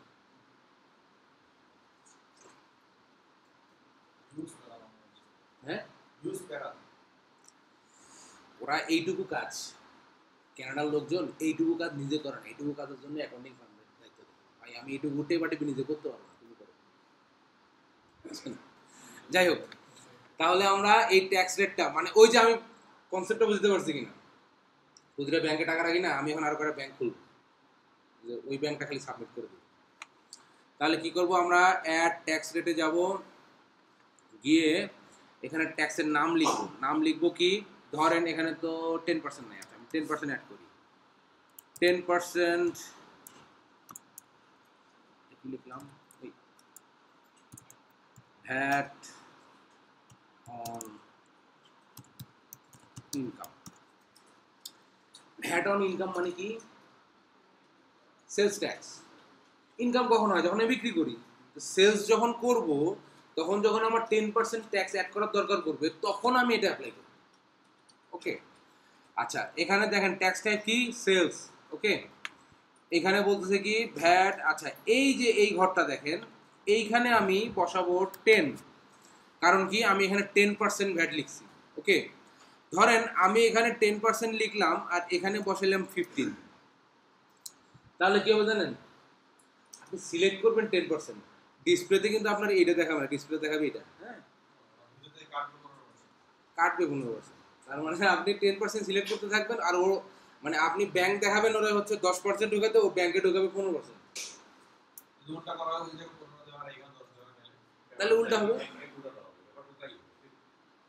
কিন্তু আপনি যখন ট্যাক্স রিটার্ন সাবমিট করবেন তখন তো ডিসপ্লে নামে থাকবে যে আপনি এটা ফিফটিন পার্সেন্ট ট্যাক্স সিলেক্ট করছেন। ট্যাক্স এত কম আসবে ভুল করার উপায়? না না। এরকম ক্যারেক্টার লোক ওখানে ধরা বললে বিপদ আছে। আর অটোমেটেড তো সব। মানে আপনি পাসপোর্ট অফিস দেখবেন আমি রিসেন্টলি আমার এক কলিগের পাসপোর্ট করতে দিচ্ছে। আমি আমি অনেকদিন যাই না। মানে এখন কথা শুনে আমি টাস্কি খেয়ে গেছি। মানে অটোমেটেশনে আনার পর অনেক কিছুই গায়েব হয়ে গেছে।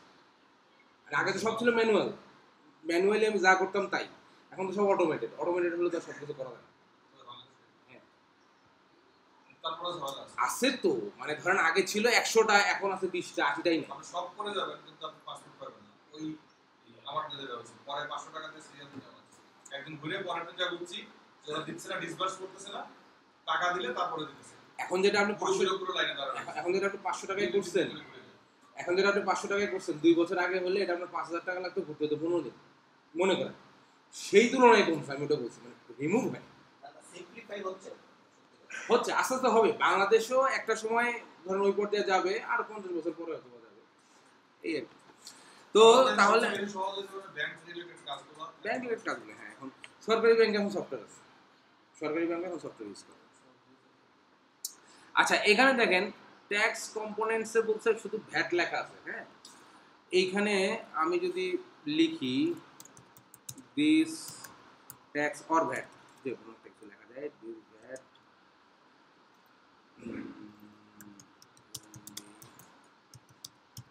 Collected on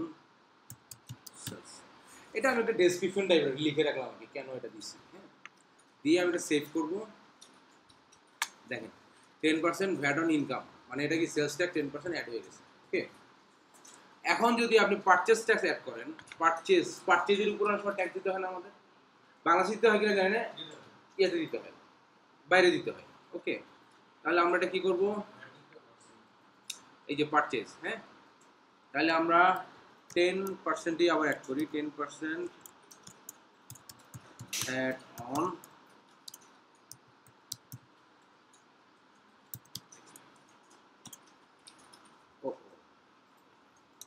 ten percent VAT on expense expense কখন করি? যখন কিছু কিনি, তাই না? তার মানে এটা আলটিমেটলি হচ্ছে পারচেস ট্যাক্স ওকে এখানে আমরা সেলস থেকে ড্রপডাউনে গিয়ে সিলেক্ট করে দিলাম কি? পারচেস ওকে তাইলে আমরা এখানে ডেসক্রিপশনে লিখি।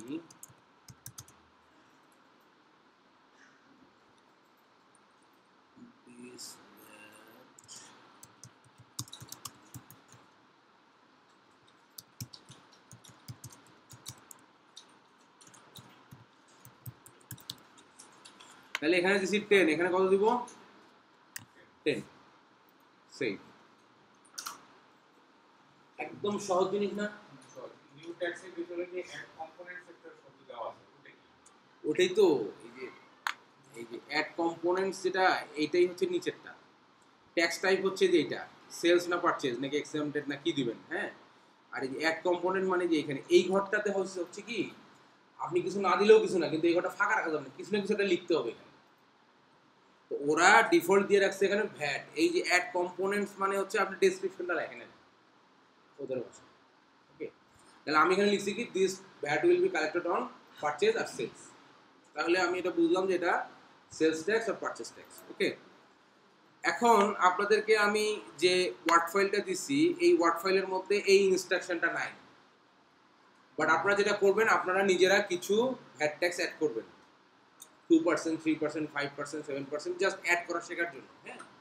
সেটা উভয়ের ক্ষেত্রেই করবেন। পারচেস ট্যাক্সের ক্ষেত্রেও করবেন সেলস ট্যাক্সের ক্ষেত্রেও করবেন ওকে তাহলে আমরা একটা ট্রানজেকশন করতে আমাদের যে ট্যাক্স লাগে, সেই ট্যাক্সটা কীভাবে অ্যাড করব এটা আমরা বুঝতে পারলাম ওকে এটা পাবো কোথায়? ওই যে যেটা বললাম অ্যাকাউন্টিং থেকে অ্যাডভান্স অ্যাডভান্সে গেলে ট্যাক্স রেট এই ট্যাক্স রেটে গিয়ে আমরা এই নিউ ট্যাক্স রেট অ্যাড করলে এখান থেকে আমরা অ্যাড করতে পারব এটুকু কি বুঝলাম সবাই আচ্ছা, এখানে একটা জিনিস আমি জানতে চাচ্ছিলাম, সেটা হচ্ছে যে,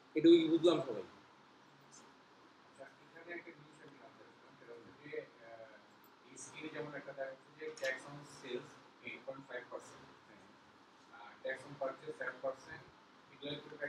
দেওয়া আছে আর একটা টোয়েন্টি পার্সেন্ট ভ্যাট অন দেওয়া আছে এখানে বলা আছে টোয়েন্টি সিক্স অ্যাকাউন্ট ইউজিং আর একটা দেওয়া আছে ফাইভ পার্সেন্ট বা টেন পার্সেন্ট এই ডিফারেন্সটার কারণটা কি?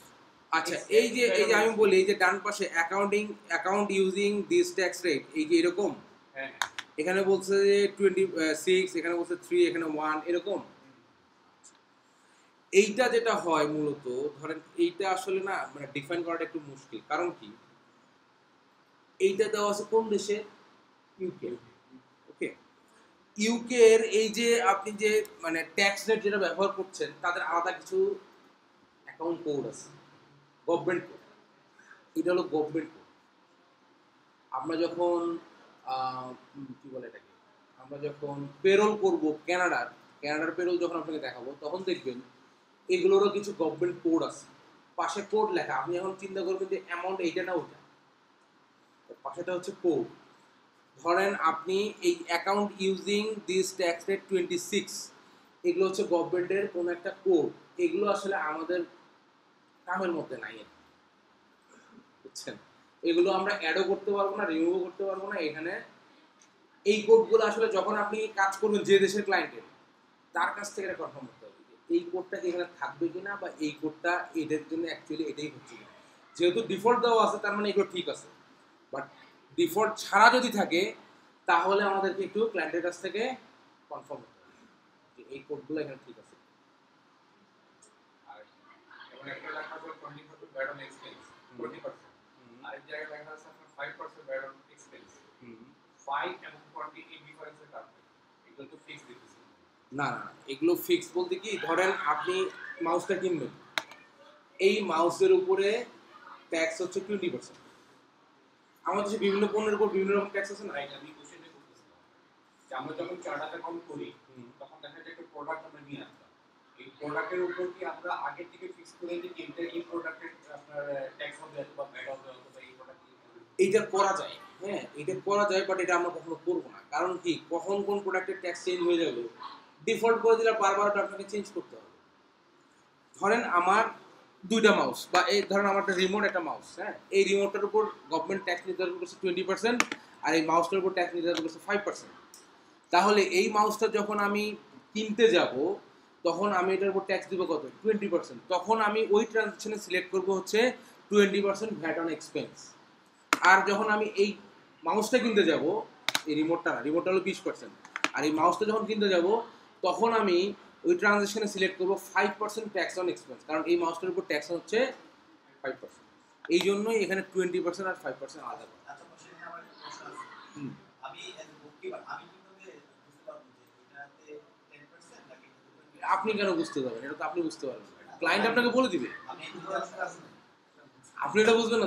ক্লায়েন্ট বলে দিবে আপনাকে। আপনাকে ক্লায়েন্টকে জিজ্ঞেস করতে হবে তোমার এই যে ট্রানজাকশনটা আমি করতেছি এই পারচেসটা করতেছি এটার উপর ট্যাক্স কতটুকু হবে? আমাকে ক্লিয়ার এটা আমাকে হবে অবশ্যই। আপনার তো জানার কথাই না।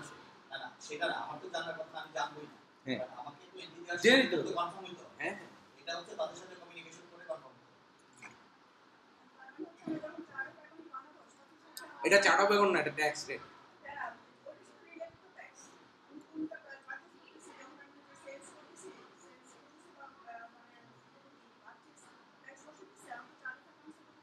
হ্যাঁ। আপনার আপনার আপনি যেভাবে চিন্তা করতেছেন এখানে ওইভাবে ঘটনাটা ঘটবে না।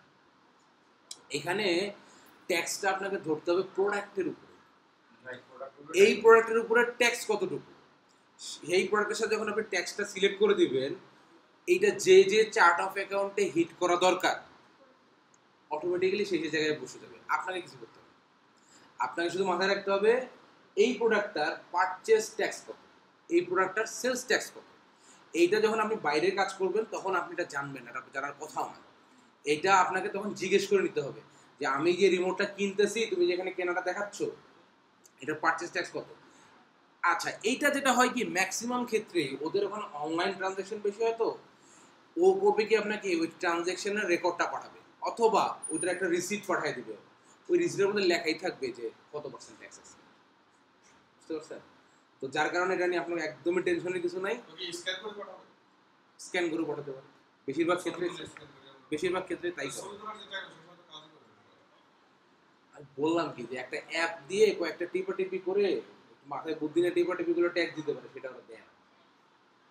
ওরা ওই যে দশ মিনিট টিপা টিপি করবে, দশ মিনিট ওরা বন্ধু বান্ধবের সাথে ঘুরতে যাবে। টাকা দিলাম তোমাকে ফি দিলাম, তুমি করে দাও। অ্যাকাউন্টিং ফার্ম করে দাও। বুঝছেন?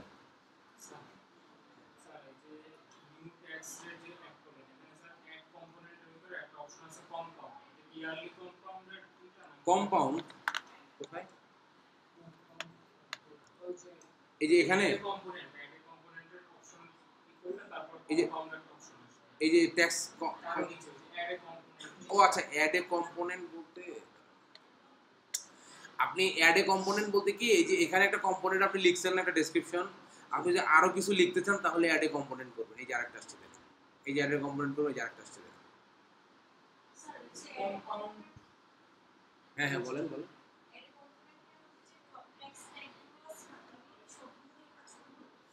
আচ্ছা অ্যাড এ কম অ্যাড এ কম্পোনেন্ট বলতে দেখেন আপনাকে বলি এই যে এখানে আমরা লিখছি কি this tax will collected on sales এত পার্সেন্ট ঠিক আছে? এখানে যদি আপনি আরেকটা কম্পোনেন্ট নেন ধরেন যে আপনার এখানে আপনি নাম দিয়েছেন একটা ট্যাক্সের ফিফটিন পার্সেন্ট মূলত এই জিনিসটা এই যে অ্যাড এ কম্পোনেন্ট করছে না এই পাশে যে ট্যাক্স রেটটা আছে না এইটা মূলত দুই একটা ক্ষেত্রে ক্ষেত্রে প্র্যাকটিক্যাল হতে পারে বাট ম্যাক্সিমাম ক্ষেত্রে প্র্যাকটিক্যাল আচ্ছা বস, এখানে আমি একটু বলব বলেন আমি এই দেখছি হুম, হুম, বলেন। এমনটা হয় অনেক সময় যে আমাদের প্র্যাকটিক্যালি কারণ সিটি কর্পোরেশনে সিটি কর্পোরেশন ট্যাক্স থাকে আবার হোল্ডিং ট্যাক্স থাকে অনেক সময় এই যেটা হয় আর কি। কারণ সিটি কর্পোরেশন ট্যাক্স আপনি টেন পার্সেন্ট বসাবেন। সিটি কর্পোরেশনের ফাইভ পার্সেন্ট আর হোল্ডিং ট্যাক্স ফাইভ পার্সেন্ট এইভাবে স্প্লিট করা হয়। আচ্ছা এখন মানে এটা আমি বলতেছি কি আমি যেটা বলতেছিলাম আপনার কথাটাই যে এইটা আসলে নাইনটি পার্সেন্ট ক্ষেত্রেই প্র্যাকটিক্যাল না। ওকে ভাই যেটা বলছে এরকম দুইটা একটা ক্ষেত্রে হতে পারে। ধরেন আপনি এখানে তখন আপনি এখানে টেন পার্সেন্ট ট্যাক্স বা ওইরকম ভাবে লিখতে পারবেন না। তখন আপনি এখানে লিখলেন holding tax okay holding tax লিখে বা সিটি কর্পোরেশন ট্যাক্স ধরেন এখানে কর্পোরেশন ট্যাক্স ওকে এখন এই কর্পোরেশন ট্যাক্সটার যদি আপনি অ্যাড কম্পোনেন্ট করেন, এখানে ধরেন টোটাল ট্যাক্স হবে আপনার সাপোজ ধরেন টোয়েন্টি পার্সেন্ট তার মধ্যে এখানে আছে আপনার হোল্ডিং ট্যাক্স হোল্ডিং ট্যাক্স ধরেন টেন পার্সেন্ট আপনার এখানে ধরেন আদার্স একটা ট্যাক্স আছে, ধরেন ফাইভ পার্সেন্ট আর এখানে ধরেন কর্পোরেশনের কোনো একটা ট্যাক্স আছে, ধরেন ফাইভ এরকম যদি হয়, দেখেন এখানে টোটাল ট্যাক্স কত আসলো? টোয়েন্টি পার্সেন্টই কিন্তু আসলো। এই ক্ষেত্রটা কি খুব ইউজুয়াল মানে খুব সব ক্ষেত্রেই পাবেন এরকম কিছু। ইউজুয়াল কি এটা? এটা যদি আপনি এই যে দেখেন এখানে ডেসক্রিপশন লিখবেন। এই ডেসক্রিপশন কি? এটা কেন এই এই টেন পার্সেন্ট ট্যাক্স কোথায় যাচ্ছে লিখলেন? এই ডেসক্রিপশন এখানে কি লিখবেন? এটা কোথায় যাচ্ছে লিখবেন? এটাও কোথায় যাচ্ছে লিখবেন? লিখে টোটাল হবে একটা মানে কর্পোরেশন ট্যাক্স হবে আর কি। এইটা যদি আপনি সিলেক্ট করেন তাহলে ওরা ওখানে বুঝতে পারবে যে কোনটা কোন কাজে যাবে। বাট এইটা আপনি হয়তোবা দুই হাজার পাঁচশো ট্রানজাকশনে একটাও পাবেন বুঝছেন? এটা এটা এইভাবে হয় আর কি। কম্পোনেন্ট মানে এই যে আপনি কোন খাতে দিবেন, এই যে এখানে যে ডেসক্রিপশন লিখতেছেন, এটাই হচ্ছে কম্পোনেন্ট ওকে এটা যদি অ্যাড কম্পোনেন্ট করেন, তাহলে এখানে চলে আসবে। বুঝছেন কি?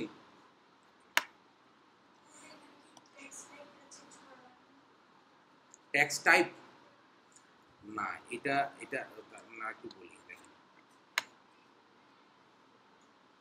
আপনি ট্যাক্স টাইপ বলতে কোনটা বোঝাচ্ছেন? হয় পারচেজ নাকি সেলস এই যে এখানে, এই যে এটা কথা বলতেছেন? আচ্ছা এইটা এইটা যেটা করতে হবে, এইটাকে আপনাকে কমন একটা জায়গায় নিয়ে আসতে হবে। কারণ আপনি কি করতেছেন? তিনটা জিনিস বা চারটা জিনিস বা পাঁচটা জিনিস কম্বাইন করতেছেন। এখন এই কম্বাইনটা এটা আপনার কোনটার সাথে যাবে? এইটা আসলে ডিপেন্ড করবে হচ্ছে যেখানে ট্যাক্স দিচ্ছেন সেটার উপরে, সেই জায়গার উপরে। বুঝতে পারছেন? এখন ধরেন এটা কিসের উপর দেওয়া যায়?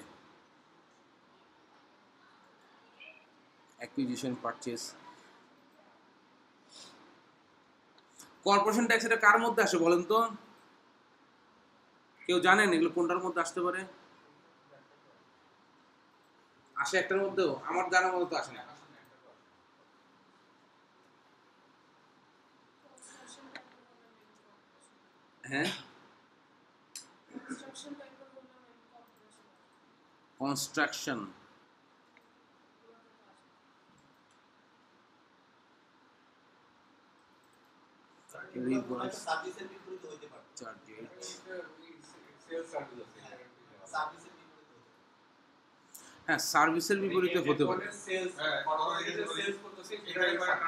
ইসি ইকুয়েশন ইসি পার্সেন্ট মানে এগুলো সবগুলো মানে আমি জানি না। কারণ এগুলো হচ্ছে কি কান্ট্রি ওয়াইজ ভ্যারি যেমন আমাদের দেশে একটা ট্যাক্সের একটা টার্ম বলেন তো। আছে না এরকম একটা। সেই টার্মসটা কি ধরেন একটা নাইজেরিয়া একটা লোক বুঝবে যে এটা বাংলাদেশের কোন ট্যাক্সের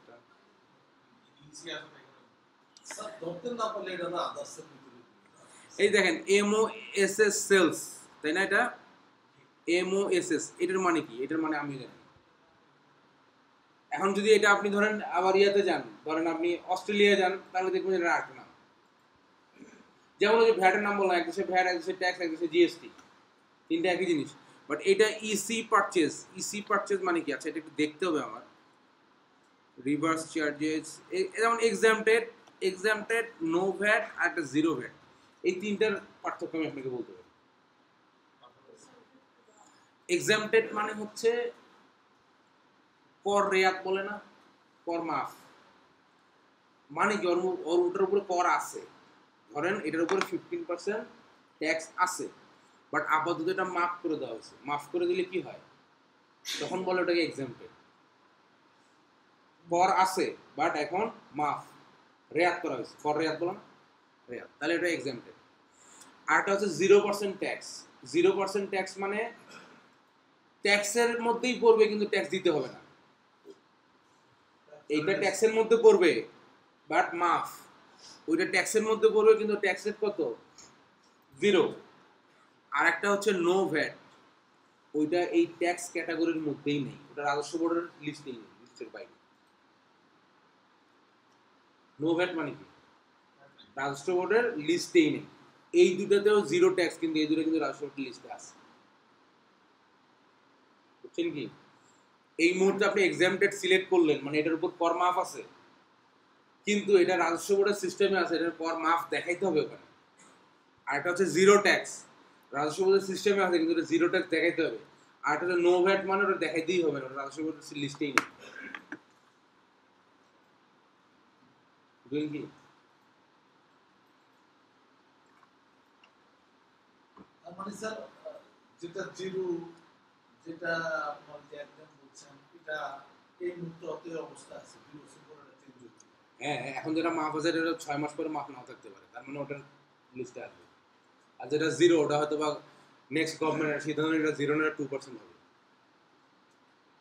মোস্টের মিনিট দেখাচ্ছে mini one stop shop mini one stop shop mini one stop shop আচ্ছা মিনি ওয়ান স্টপ শপ মানে কি? ছোট ছোট দোকানগুলো।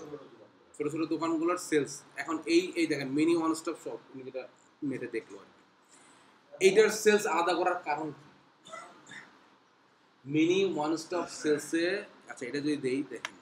এইটার কনফার্ম ইউকের এটার একটা ফিক্সড ট্যাক্স রেট আছে। মিনি ওয়ান স্টপ সেলস যে আলাদা করছে এই সেলসের কনফার্ম একটা ফিক্সড ট্যাক্স রেট আছে। ওকে এইটা তো আমি জানি ওদের মিনি ওয়ান স্টপ হচ্ছে বাংলাদেশের প্যাকেজ রেট আছে না?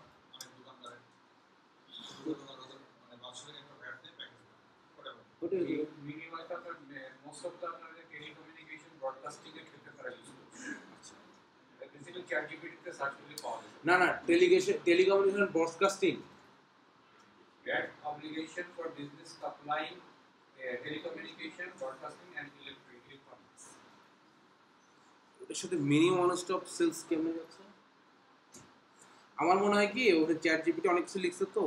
আমার মনে হয় যে এখানে হচ্ছে আপনার কিছু হ্যাঁ সেটা না মিনি ওয়ান স্টপ সেলস বলতে কি বোঝায়? ওয়ান স্টপ সেলস বলতে কি বোঝায়? ওয়ান স্টপ সেলস মানে আলটিমেটলি কিছুটা সার্ভিস রিলেটেড সেলস হ্যাঁ। সার্ভিস রিলেটেড সেলস না? ধরেন এখানে টেলিকমিউনিকেশন বলতে কি বোঝাচ্ছে? ধরেন আপনার একটা কমলাপুর স্টেশনে আপনি একটা বুথ বসায় দিচ্ছে তারপর ধরেন একটা বাঙালি একটা বুথ বসায় দিচ্ছে ওখান থেকে কিছু জিনিস, ছোটো ছোটো কিছু জিনিস সেল হয়। একটা সিম সেল হয়, কিছু টক টাইম সেল হয়। তো ওইটা কি ultimately mini one stop sales তো এই টাইপের সেলসগুলো কি বোঝে তাই না? ওয়ান স্টপ সেলস মানে কি? আপনি এক জায়গা থেকে কন্টিনিউয়াস সেল করে যাচ্ছেন বা টোয়েন্টি ফোর আওয়ার সেল করছে ওয়ান স্টপ সার্ভিস বল কি? টোয়েন্টি ফোর আওয়ার সার্ভিস দিচ্ছে তো এখন মিনি ওয়ান স্টপ সেলসের মানেটা কি? আপনি যেটা বললেন হ্যাঁ এটা হইতে পারে। যেটা বললাম, বাঙালিকে একটা বুথ বসাই দিচ্ছে ওখান থেকে হয়তো বা টক টাইম বা ইয়ে সেল হচ্ছে। তো এইটা যদি হয়, তাহলে এইটার উপর ধরেন একটা ফিক্সড ট্যাক্স রেট আছে। এখন এই ট্যাক্স রেট কে নির্ধারণ করছে? ইউকে গভর্নমেন্ট এইটা আমরা ক্লায়েন্টের কাছ থেকে ক্লিয়ার হতে হবে যে তোমার যে এটা এটা কত দাও তোমরা বা এটা কত থাকে? তাহলে সেই ট্যাক্স রেটটা এখানে বসে যাবে বুঝলেন কি?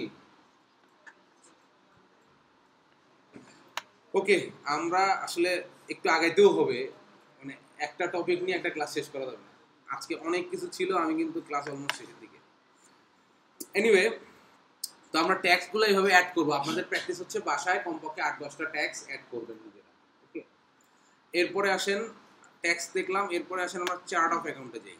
চার্ট অফ অ্যাকাউন্ট কোথায়? এই অ্যাকাউন্টিং থেকে অ্যাডভান্সে অ্যাডভান্সে গেলে চার্ট অফ অ্যাকাউন্ট এখন এই চার্ট অফ অ্যাকাউন্ট কী জিনিস এটা আপনাদেরকে বলছি আমি। এইটুকু মাথায় আছে কি সবার?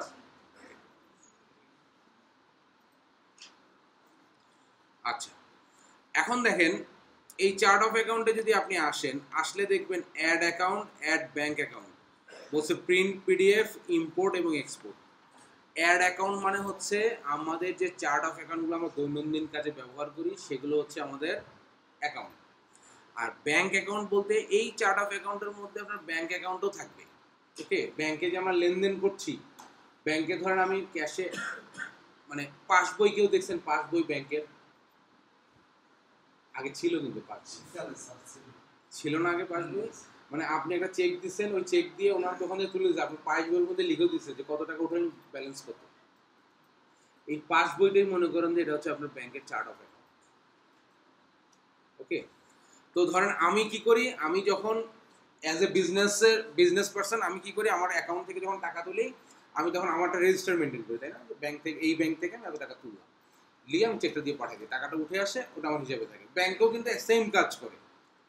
ব্যাংকও আপনার অ্যাকাউন্ট থেকে টাকাটা উইথড্র করে ও লিখে রাখে, তাই না?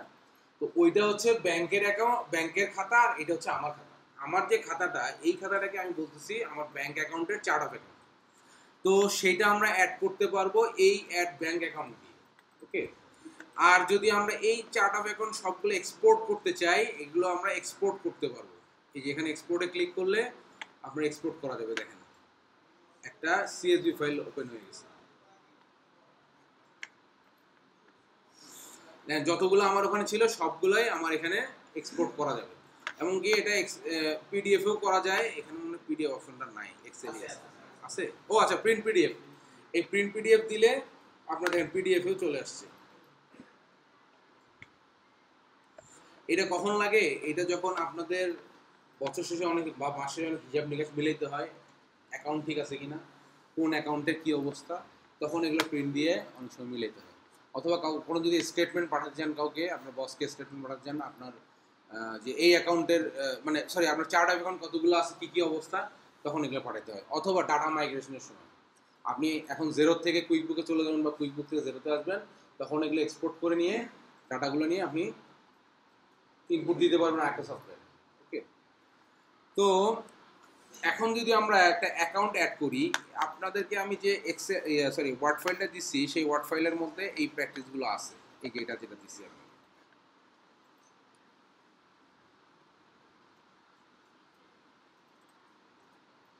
এই যে দেখেন। Chart of accounts chart of অ্যাকাউন্টসে আপনাকে বলছে ব্যাংক অ্যাকাউন্ট অ্যাড করবেন পেপাল ক্রেডিট কার্ড এরপর বলছে ওনার সিকিউরিটি এরপর বলছে অ্যাসেট এরপর বলছে লাইবিলিটি হ্যাঁ রেভিনিউ এক্সপেন্স এই চার্ট অফ অ্যাকাউন্ট এই যে নামে নামে যে হিসাবের খাত, এই হিসাবের খাতগুলো আমরা আমাদের সিস্টেমে ইনপুট দিব ওকে কীভাবে দিব? সেটা হচ্ছে যদি ব্যাংক অ্যাকাউন্ট হয়, তাহলে bank PayPal credit card bKash wallet থেকে শুরু করে যা আছে সবই কিন্তু ব্যাংক অ্যাকাউন্ট সব আসবে যেখান থেকে আপনি লেনদেন করবেন, সব আসবে আপনার ব্যাংক অ্যাকাউন্টের ভিতরে।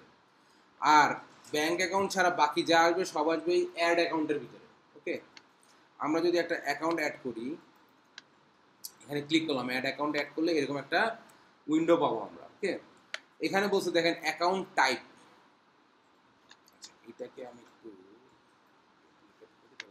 সুবিধা হবে। হুম। এখানে বলছে কি ফার্স্টে বলছে অ্যাকাউন্ট টাইপ কি টাইপের অ্যাকাউন্ট এই যে অ্যাকাউন্ট টাইপগুলো কিন্তু এখানে দেওয়া আছে। অল অ্যাকাউন্ট মানে সবগুলো এখানে আছে। পাশাপাশি আছে asset liability equity expense revenue archive মানে এটা হচ্ছে টেম্পোরারি ডিলিট আর এখান থেকে ডিলিট করলে আর্কাইভে গিয়ে থাকে। তো এই কয়টা হচ্ছে আমাদের হিসাবের খাত। কিন্তু এখানে যদি আমি যখন অ্যাড করব এটা আমার current asset fixed asset inventory non inventory payment ইকুইটির আন্ডারে কী কী আছে রেভিনিউর আন্ডারে কী আছে, কোন খাতে যাবে, এটা আমার ঠিক করে দিতে হবে। ধরেন, আমি যদি এখান থেকে আপনাদেরকে একটা অ্যাড করে দেখাই। এই ধরেন এক্সপেন্স ঠিক আছে? কি দেখাবো? অফিস এক্সপেন্স সহজ একটা দেখাই অফিস এক্সপেন্স তাহলে এখানে আমাদের অ্যাকাউন্ট টাইপে ফার্স্টে কি আসবে? এক্সপেন্স খরচ, তাই তো? এক্সপেন্স কই? এই যে এক্সপেন্স হ্যাঁ? না, এটা এই যে এটা এক্সপেন্স হ্যাঁ? এক্সপেন্স এরপরে আসেন, বলছে কোড কোড কি জিনিস? কোড হচ্ছে দেখেন, যদি আমরা এক্সপেন্সের এখানে সেকশনটাতে আসি এখানে তো অল অ্যাকাউন্ট আছে বাট আমরা যদি এক্সপেন্স সেকশনটাতে আসি এক্সপেন্সে দেখেন তারা কোড ব্যবহার করছে থ্রি এবং ফোর মানে তিনশো দশ, তিনশো বিশ, তিনশো পঁচিশ, এদিকে চারশো চারশো এক ওকে তাহলে এক্সপেন্সের কোড কত? থ্রি দিয়ে শুরু হচ্ছে এবং ফোর দিয়ে শুরু হচ্ছে, এবং এই কোডটা কয় ডিজিটের তিন ডিজিটের এখন দেখেন, এটা হচ্ছে ইউকে যারা আছেন, তারা তিন ডিজিটের কোড ব্যবহার করেন নর্মালি বাট এটা যদি ইউএস এর অ্যাকাউন্ট হতো, আপনি যদি কান্ট্রি ইউএসএ সিলেক্ট করতেন, এখানে কোড দেখতেন চার ডিজিটের one zero zero one one zero one two এই টাইপের চার ডিজিটের কোড ওকে তাহলে কোড তিন ডিজিটেরও হতে পারে, চার ডিজিটেরও এখন দেখেন, এই এক্সপেন্স অ্যাকাউন্টে ব্যবহার করা অলরেডি ব্যবহার করা হয়েছে। এরকম একটা কোড কত? তিনশো দশ, অথবা তিনশো বিশ, অথবা তিনশো পঁচিশ, তাই না? এগুলো ব্যবহার অলরেডি হয়ে গেছে। এখন যদি আমরা এখানে কোড ব্যবহার করি তিনশো পঁচিশ, তাহলে কি দেখাচ্ছে দেখেন? তিনশো পঁচিশ ইজ নট অ্যাভেলেবেল অ্যাভেলেবেল না হওয়ার কারণ কি? কারণ অলরেডি তিনশো পঁচিশটা একটা আছে। আপনার লিস্টে তিনশো পঁচিশ একটা আছে না? তার মানে কোডটা হতে হবে ইউনিক যেই কোডটা অলরেডি ব্যবহার করা নাই, এরকম কোড আপনাকে ব্যবহার করতে হবে। তাহলে আমরা যদি এখানে দিই তিনশো একুশ তিনশো একুশ ইজ অ্যাভেলেবেল এর কারণটা কি? কারণ এখানে তিনশো একুশ বলে কোনো কোড ব্যবহার এখনও হয়নি। ওকে? তাহলে আমাদেরকে যেটা করতে হবে, আমি প্রথমে আমার অ্যাকাউন্ট টাইপটা সিলেক্ট করে নিলাম। এরপর নিলাম হচ্ছে আমার কোড এরপর দিব আমি নাম। নাম এখানে বলাই আছে। কি বলা আছে? অফিস এক্সপেন্স তাই না? এটা আমি কপি করে এখানে বসি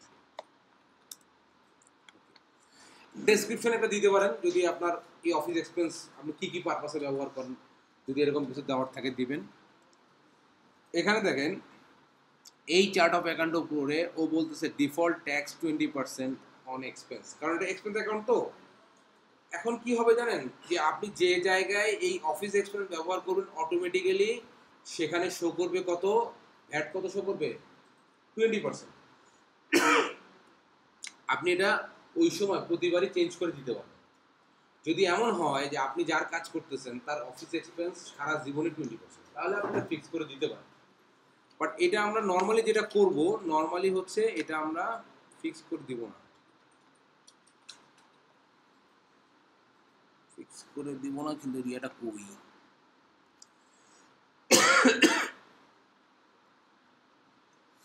zero rate expense twenty percent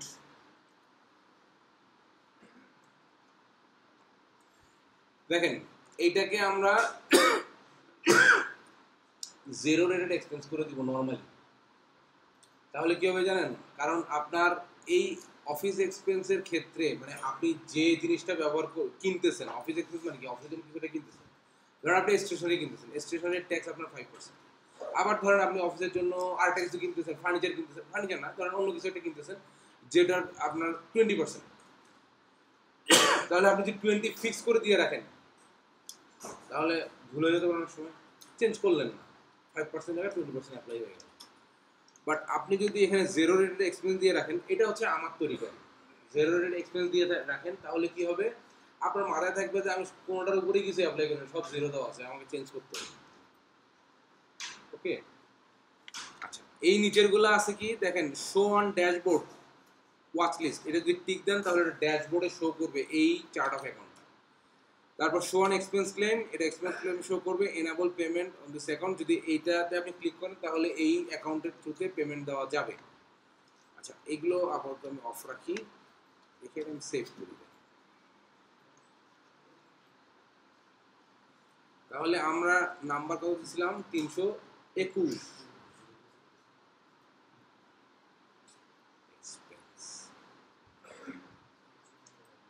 তিনশো একুশ অফিস এক্সপেন্স আসছে? আচ্ছা এই দেখেন এই যে এই অ্যাকাউন্টগুলোর নিচে একটা করে লাইন লেখা আছে না? এগুলো হচ্ছে ডেসক্রিপশন ডেসক্রিপশন ডেসক্রিপশন এগুলো ছিল। আমরা ডেসক্রিপশনে কিছু দেইনি বলে নিচে কিছু লেখা আছে? ওকে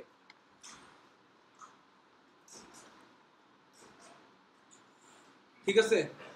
এটুকু বুঝলেন কি? না না ওইটা ম্যান্ডেটরি না।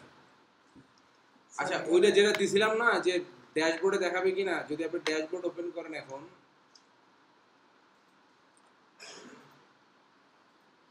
ড্যাশবোর্ডে কিছু কাস্টমাইজেশন আছে। আপনার যেগুলো প্রয়োজন, সেগুলো আপনি ড্যাশবোর্ডে রাখতে পারবেন।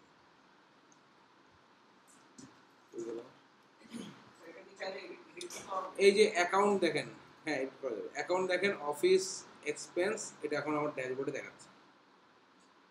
আমি ঠিক দিয়েছিলাম যেটা আমার ড্যাশবোর্ডে দেখাচ্ছে। কারণ যদি এমন কিছু চার্ট অফ অ্যাকাউন্ট হয় যেগুলো আপনার প্রতিনিয়ত লাগে। সেগুলো আপনি ড্যাশবোর্ডে এনে রাখতে পারেন অ্যাকাউন্ট টাইপ যদি ইয়ে করে আপনি যেটা বলছেন, আউট অ্যাকাউন্টসের আউটলাইন আমরা যেটা সেট আপটা করি আহ, একটা হলো অ্যাকাউন্ট টাইপস আর একটা হলো নেম হ্যাঁ। এগুলো নিয়ে কেউ কোশ্চেন করে না এবং তারা ভালো জানে আমি খুব ভালো করে বোঝার জন্য অ্যাকাউন্ট টাইপটা কি এটা সার্টেন নির্দিষ্ট করা আছে? না, এটা চেঞ্জ করা যাবে বাট অ্যাকাউন্ট বাট নেমটা চেঞ্জ করা যাবে? নেম তো আপনার ইচ্ছা মতো আপনি দিচ্ছেন আর এটা যদি একটা এক্সাম্পল দেই যে আপুকে একটু আগে যেটা বলতেছিলাম যে আপনার বাসায় আপনি একটা খরচের খাতা লিখছেন। এটা কি খরচের খাতা? এটা কিন্তু চেঞ্জ করার কোনো উপায় নেই। খরচের খাতা। মানে আপনি যে খরচ করবেন সেই খরচই লেখা লাগবে এখানে। এখন এটার ভিতরে আপনি কি খরচ লিখবেন? খরচের খাতার মধ্যে আপনি কি খরচ লিখবেন? এইটা তো আর ফিক্স এই যে স্যার মিলানোটা বেসিক্যালি সাপোজ শুরু কি সতেরোটা কথার কথা এখানে অ্যাকাউন্ট টাইপ লেখা আছে। অনেক এমন কিছু খরচ আছে যেটা আসলে কোন ধারা করবে এটা একটা বড় হ্যাঁ এইটা একটু কমন সেন্স খাটাই দিয়ে আচ্ছা এখন দেখেন বিশেষ করে আপনারা দুজন আপনি এবং আপনি, যারা এই দুজন হ্যাঁ? আপনারা যেটা করবেন, আপনাদের জন্য কাজ হচ্ছে এই যে ওয়ার্ড ফাইলটার এইটাকে কপি করবেন কপি করে গুগলে গিয়ে এটা সার্চ করবেন। গুগলে গিয়ে এটা সার্চ করবেন, ঠিক আছে এই- আরে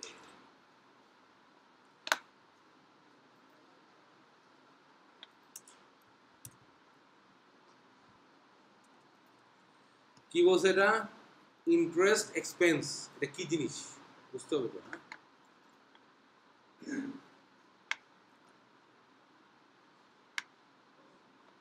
কই আছে? ইন্টারেস্ট এক্সপেন্স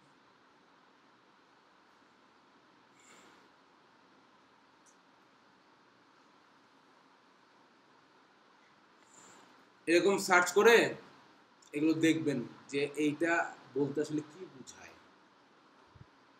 ইন্টারেস্ট এক্সপেন্স তো একটা খরচ এক্সপেন্স যেহেতু নাম আছে একটা খরচ, তাই না? জানেন কেউ এটা কি খরচ?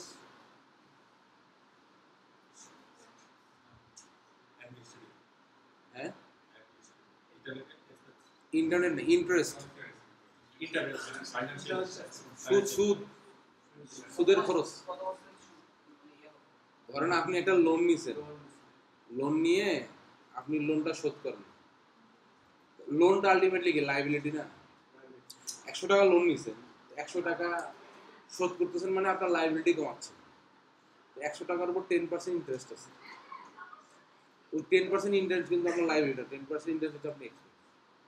মূল যেটা ওটা আপনার লাইবিলিটি ওটা শোধ করতেছেন। যেটা ইন্টারেস্ট দিচ্ছেন, সেটা হচ্ছে আপনার খরচ। ইন্টারেস্ট এক্সপেন্স কি? খরচ আলটিমেটলি সুদের খরচ। হ্যাঁ। তো এইটা আপনি কীভাবে এন্ট্রি দিবেন? দেখেন, এটা আমি প্রতিটা আপনাকে ধরে ধরে ধরে ধরে এভাবে দেখাইতে পারি। আসলে এইভাবে দেখানো, দেখা, দেখানোর মতো অবস্থা এখানে নাই। যার কারণে আপনাদেরকে হোমওয়ার্ক দিচ্ছি। হোমওয়ার্ক কি? যারা এটা বুঝতে পারেননি, তারা এটা কপি করে এই পদ্ধতিতে আপনি আগে দেখবেন যে এটা আসলে জিনিসটা কি। জিনিসটা কি হলে তখন আপনি সিস্টেমে এন্ট্রি দিবেন। এই চার্ট অফ অ্যাকাউন্টে এসে আপনি মিলাবেন যে এই ধরনের এন্ট্রিটা কার সাথে যায়? এখানে কিন্তু আমি ভাগ করেই দিছি, দেখেন, এখানে কিন্তু এক্সপেন্স মানে এটা বোঝাই যাচ্ছে যে এখানে যা সব হলো খরচের খাতে যাবে। তার মানে আপনি ওখানে অ্যাকাউন্ট টাইপে সব হবে এক্সপেন্স ওকে তারপরে এখানে বলছে রেভিনিউ এগুলো হচ্ছে ইনকাম রেভিনিউ মানে কি? ইনকাম তার মানে আমার অ্যাকাউন্ট টাইপে সব যাবে, এটা ইনকামে ওকে তারপরে এটা কি? লাইবিলিটি লাইবিলিটি মানে কি? আমার দায়। তার মানে এগুলো হবে আমার সব দায়। ইনকাম ট্যাক্স পেয়েবল এটা বোঝেন কেউ ইনকাম ট্যাক্স পেয়েবল বোঝেন কেউ? পেয়েবল এই কথাটার মানেটা বোঝেন কেউ?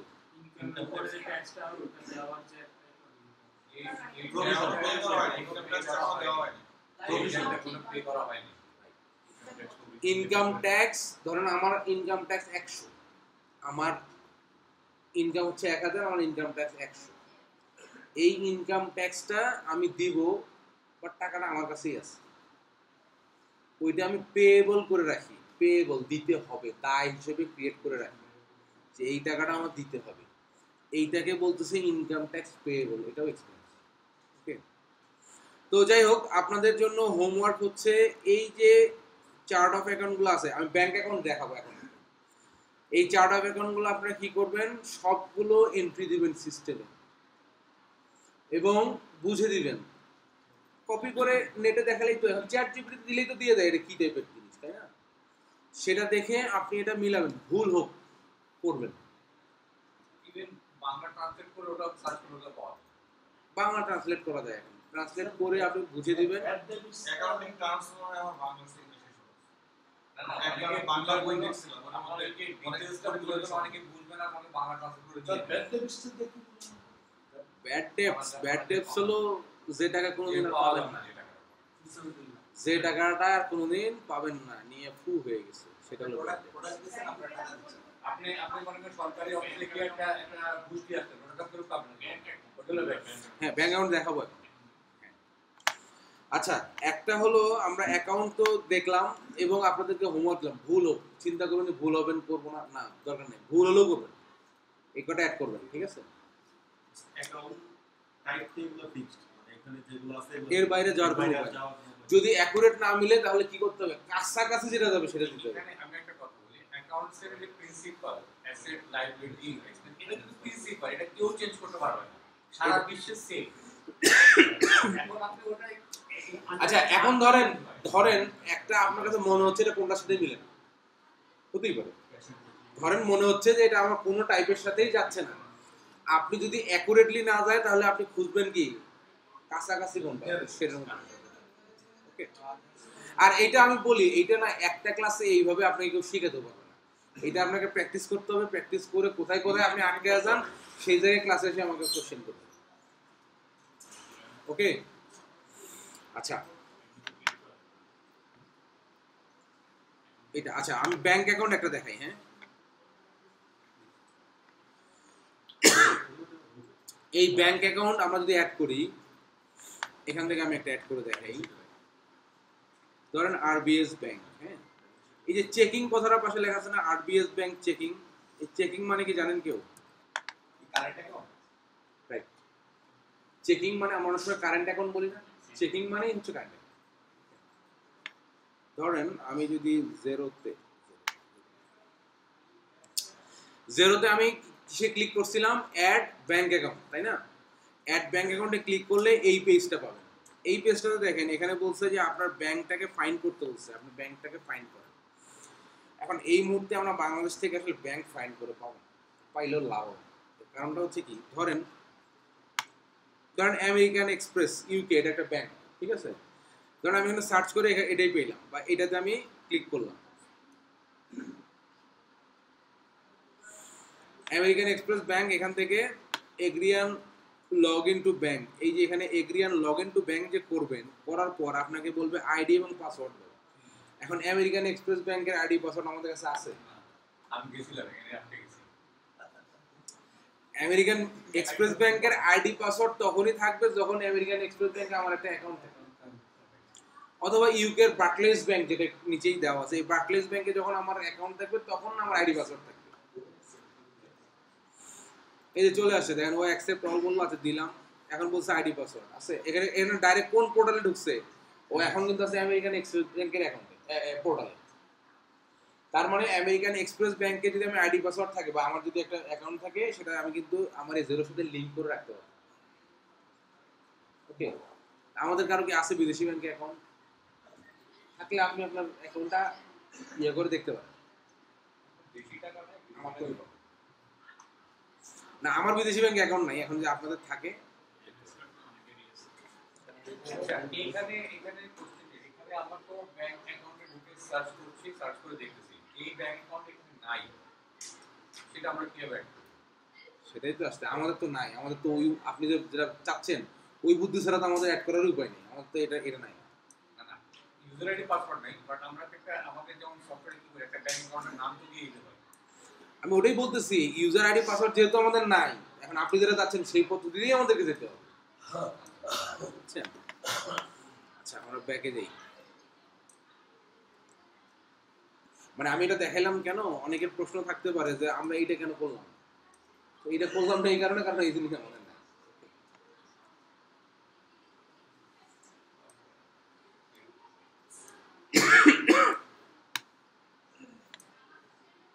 আচ্ছা তাহলে এখানে দেখেন ডিফল্ট কিছু ব্যাংক দেওয়া আছে, আর এর বাইরে হলে আপনাকে এখানে সার্চ করতে হবে। কিন্তু সেটার আইডি পাসওয়ার্ড আপনার থাকতে হবে। আর যদি আমাদের, যেহেতু আমরা অবাগা, আমাদের এরকম কিছু নাই, আমাদের যেতে হবে add without bank fee okay এখানে ক্লিক করব। কন্টিনিউ করব, এগুলো একটু দেখে নেবেন। ডুজ অ্যান্ড ডোন্টস এখন বলছে এখন ব্যাংকের নাম কি? ব্যাংকের নাম কি আমাদের? আরবিএস ব্যাংক অ্যাকাউন্ট নেম কি? চেকিং থাকলে কি কারেন্ট অ্যাকাউন্টও লেখা থাকতে পারে চেকিংও লেখা থাকতে পারে। সেভিংস লেখা হলে সেভিংস উল্লেখিত থাকবে? সেভিংসই লেখা থাকবে। আচ্ছা। এই নামটাই ঠিক তাহলে আমরা দিলাম কি ব্যাংকের নাম কি? আরবিএস ব্যাংক আর আমার অ্যাকাউন্টের নাম আর আরবিএস ব্যাংক চেকিং আমি এখানে কি করলাম, এই যে অ্যাকাউন্টের ধরেন লাস্ট চারটা ডিজিট আমি এখানে ব্যবহার করব। এইটা কোথাও কোনো মানে রুলসে বলা নাই বাট আমি এটা বলি, এটা এটা করবেন কেন? কারণ আপনার একটা ব্যাংকে দুইটা অ্যাকাউন্ট থাকতে পারে, তিনটা অ্যাকাউন্টও থাকতে পারে। আপনার কোম্পানির একটা ব্যাংকে তিনটা অ্যাকাউন্ট থাকতে পারে না? কারণ আপনি অ্যাজ এ অ্যাকাউন্টেন্ট যদি আপনি লাস্ট চারটা ডিজিট ব্যবহার করেন, তাহলে সুবিধা হচ্ছে যে আপনি কোন ওই ব্যাংকেরই কোন অ্যাকাউন্টের লেনদেন করতেছেন, সেটা কিন্তু আপনি বুঝতে পারতেছেন। আর যদি আপনি এটা না দেন, তাহলে কিন্তু ভুল হওয়ার সম্ভাবনা যার কারণে আমরা এটা চেকিং অ্যাকাউন্ট কারেন্ট অ্যাকাউন্ট না সেভিংস অ্যাকাউন্ট সেটাও লিখব, পাশাপাশি লাস্ট চারটা অ্যাটলিস্ট লাস্ট চারটা ডিজিট আমরা এখানে লিখব ওকে এরপর আসেন অ্যাকাউন্ট টাইপ অ্যাকাউন্ট টাইপে আছে দুইটা জিনিস, একটা হলো ক্রেডিট কার্ড একটা হচ্ছে আধার আমরা সিলেক্ট করব আধার শুধুমাত্র ক্রেডিট কার্ড এন্ট্রি দেওয়ার সময় সিলেক্ট করব ক্রেডিট কার্ড ক্রেডিট কার্ড ছাড়া বাকি যত ব্যাংক আছে ওয়ালেট আছে, যা আছে ডেবিট যা আছে ব্যাংক অ্যাকাউন্ট যেটা ডেবিট সেটা তার মানে কি? মানে আপনি টাকা জমা দেওয়ার পরে ব্যবহার করতে পারেন। আর ক্রেডিট কার্ড কি? ক্রেডিট কার্ড কিন্তু আলটিমেটলি লাইবিলিটি এইখানে যে দুইটা টাইপ আছে অ্যাকাউন্ট টাইপ একটা হলো ক্রেডিট কার্ড একটা আদার্স আদার্স মানে হচ্ছে আপনার অ্যাসেট ব্যাংকে যে টাকা থাকে, সেই টাকাটা আপনার ব্যাংকে যে আপনার আপনার অ্যাকাউন্টে যে আপনার টাকা আছে, এটা কিন্তু আপনার অ্যাসেট বাট ক্রেডিট কার্ডের ক্ষেত্রে কিন্তু এটা লাইবিলিটি ক্রেডিট কার্ডের ব্যালেন্স জিরো মানে কিন্তু আপনি লাইবিলিটি না। আপনার কোনো কিছুর জন্য লাইবল না। বাট ক্রেডিট কার্ডের ব্যালেন্স একশো টাকা মানে কিন্তু আপনার একশো টাকা লোন হয়ে গেছে। শেষ? দুই মিনিট। আজকে একটু ইয়ে হয়েছে মানে নতুন একটা ব্যাচ শুরু করছে তো। তো আমাদের টাইমটা একটু কমাই দিচ্ছে যে, ভাই, আপনারা একটু কমের মধ্যে শেষ করবেন ঠিক আছে। আচ্ছা এটা দিয়ে আমি শেষ করি। তার মানে আমরা কি বুঝলাম, যদি ক্রেডিট কার্ড এন্ট্রি দেই, তাহলেই কেবলমাত্র ক্রেডিট কার্ড ব্যবহার করব। তাহলে এই অ্যাকাউন্টটা হয়ে যাবে আমার লাইবিলিটি অ্যাকাউন্ট ওকে? আর যদি আধার দেই, তাহলে হবে কি আমার অ্যাসেট অ্যাকাউন্ট ক্রেডিট কার্ড ছাড়া বাকি যা আছে, আপনার বিকাশ ওয়ালেট পেপাল যা আছে, সবই হচ্ছে আপনার অ্যাসেট অ্যাকাউন্ট ওকে? আচ্ছা এবার আসেন অ্যাকাউন্ট নাম্বার অ্যাকাউন্ট নাম্বার কোনটা? আচ্ছা লাস্ট চারটা দিচ্ছি কি? ফোর থ্রি টু ফাইভ ধরেন আমি একটা আনুমানিক একটা অ্যাকাউন্ট নাম্বার দিলাম ফোর থ্রি টু ফাইভ এটা হচ্ছে আমার অ্যাকাউন্ট নাম্বার ওকে? আর অ্যাকাউন্ট কোড অ্যাকাউন্ট কোড কোনটা? ওই যে চার্ট অফ অ্যাকাউন্টের কোড আমরা ব্যাংকের কোড অলওয়েজ ব্যবহার করব, ওয়ান দিয়ে শুরু করব। ব্যাংক আপনার প্রতিনিয়ত লাগবে এবং ব্যাংকটা থাকতে হবে উপরের দিকে, যার কারণে আমরা সবসময়, এটা হলো আমার রুলস আমার রুলস ফলো করেন, ভালো হবে। ব্যাংক অলওয়েজ ওয়ান দিয়ে শুরু করব, তাহলে আমরা এটা ওয়ান জিরো ওয়ান দিতে পারি নাম। কারেন্সি আমার দেশ যেহেতু মানে আমার দেশ বলতে আমার এই অ্যাকাউন্টের দেশ যেহেতু ইউকে তাহলে আমি জিবি, ব্রিটিশ পাউন্ড রাখলাম, অ্যাড অ্যাকাউন্ট করে দিলাম স্যার আমার এখানে কোডটা শো করতেছে কোন কোড অ্যাকাউন্ট কোডটা অ্যাকাউন্ট নাম্বার পর্যন্ত আছে অ্যাকাউন্ট কোডটা কোড?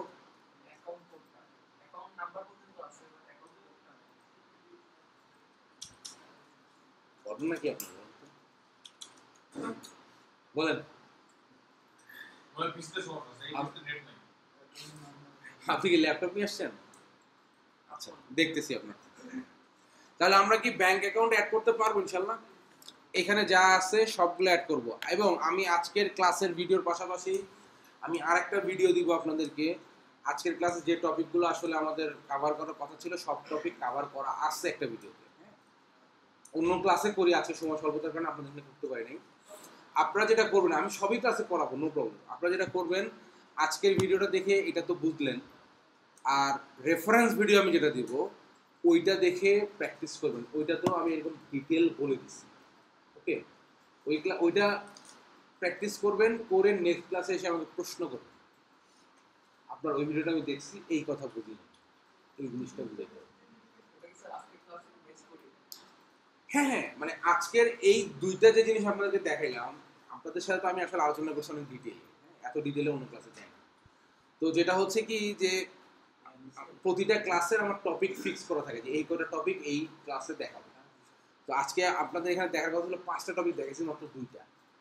ঠিক আছে? বাকি তিনটা সহ এরকম আলাদা একটা ভিডিও আছে। ওইটা আমি আপনাদেরকে রেফারেন্স ভিডিও হিসেবে দেবো আপনারা এই ট্যাক্স এবং চার্ট আউট অ্যাকাউন্টে অ্যাড করবেন, করার পাশাপাশি আপনারা কি করবেন? কন্ট্যাক্টস প্রোডাক্ট অ্যান্ড সার্ভিস এগুলো অ্যাড করার বিষয়টা ওই ইয়াতে একদম ক্লিয়ার করে বলা আছে। আপনারা এটা চেষ্টা করবেন না। চেষ্টা করলে যেটা হবে, আপনি না পড়লেও সমস্যা নাই। চেষ্টা করলে যেটা হবে, আপনার মনের মধ্যে অনেকগুলো প্রশ্ন তৈরি হবে। এটা কেন এরকম হলো? এটা তো আমি এভাবে করতে পারতাম বা এটা আমারটা এরকম আসে না ওরকম হয় কেন? লিখে রাখবেন। তাহলে হবে কি নেক্সট ক্লাসে আসলে আপনি প্রশ্নগুলো করতে পারবেন। তাহলে আপনার জন্য ক্লাস অনেক সহজ হয়ে যাবে। ওকে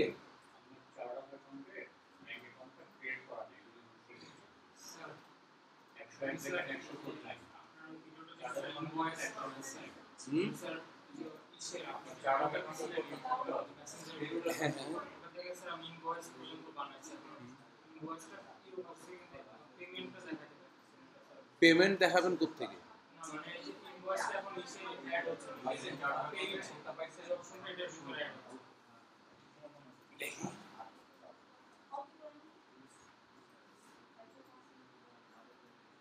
মানে আপনি যে জায়গায় গেছেন এইটা তো আমি আপনাকে দেখাইনি এখন। এটা আমি ভিডিও দিছেন। ভিডিও ইনভয়েস করা ভিডিও দিচ্ছি আপনাকে ইনভয়েসটা এখনও যায় না। আপনি যে ভিডিওটা শেয়ার করছেন ওটা ইনভয়েসের ভিডিও ছিল। আমি ভাবছিলাম যে মানে ইনভয়েস পেয়েছি এই জন্য আমরা আসলে একটু ইয়ে হয়ে গেছি। Wrong video wrong video invoice settings দেওয়ার কথা। না ক্রিয়েশনের ভিডিও ছিল।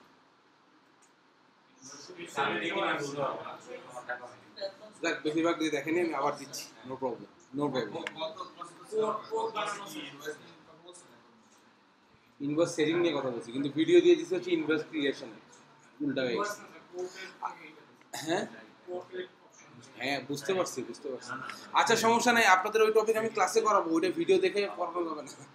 আমি আমি আমি লাস্ট ক্লাসের ভিডিও আজকের ভিডিও দুইটাই দিচ্ছি। ওকে নেক্সট ক্লাসে আপনার জন্য ভালো হবে মানে ট্রানজেকশনের ক্লাস তো ঠিক আছে, আজকে এই পর্যন্তই।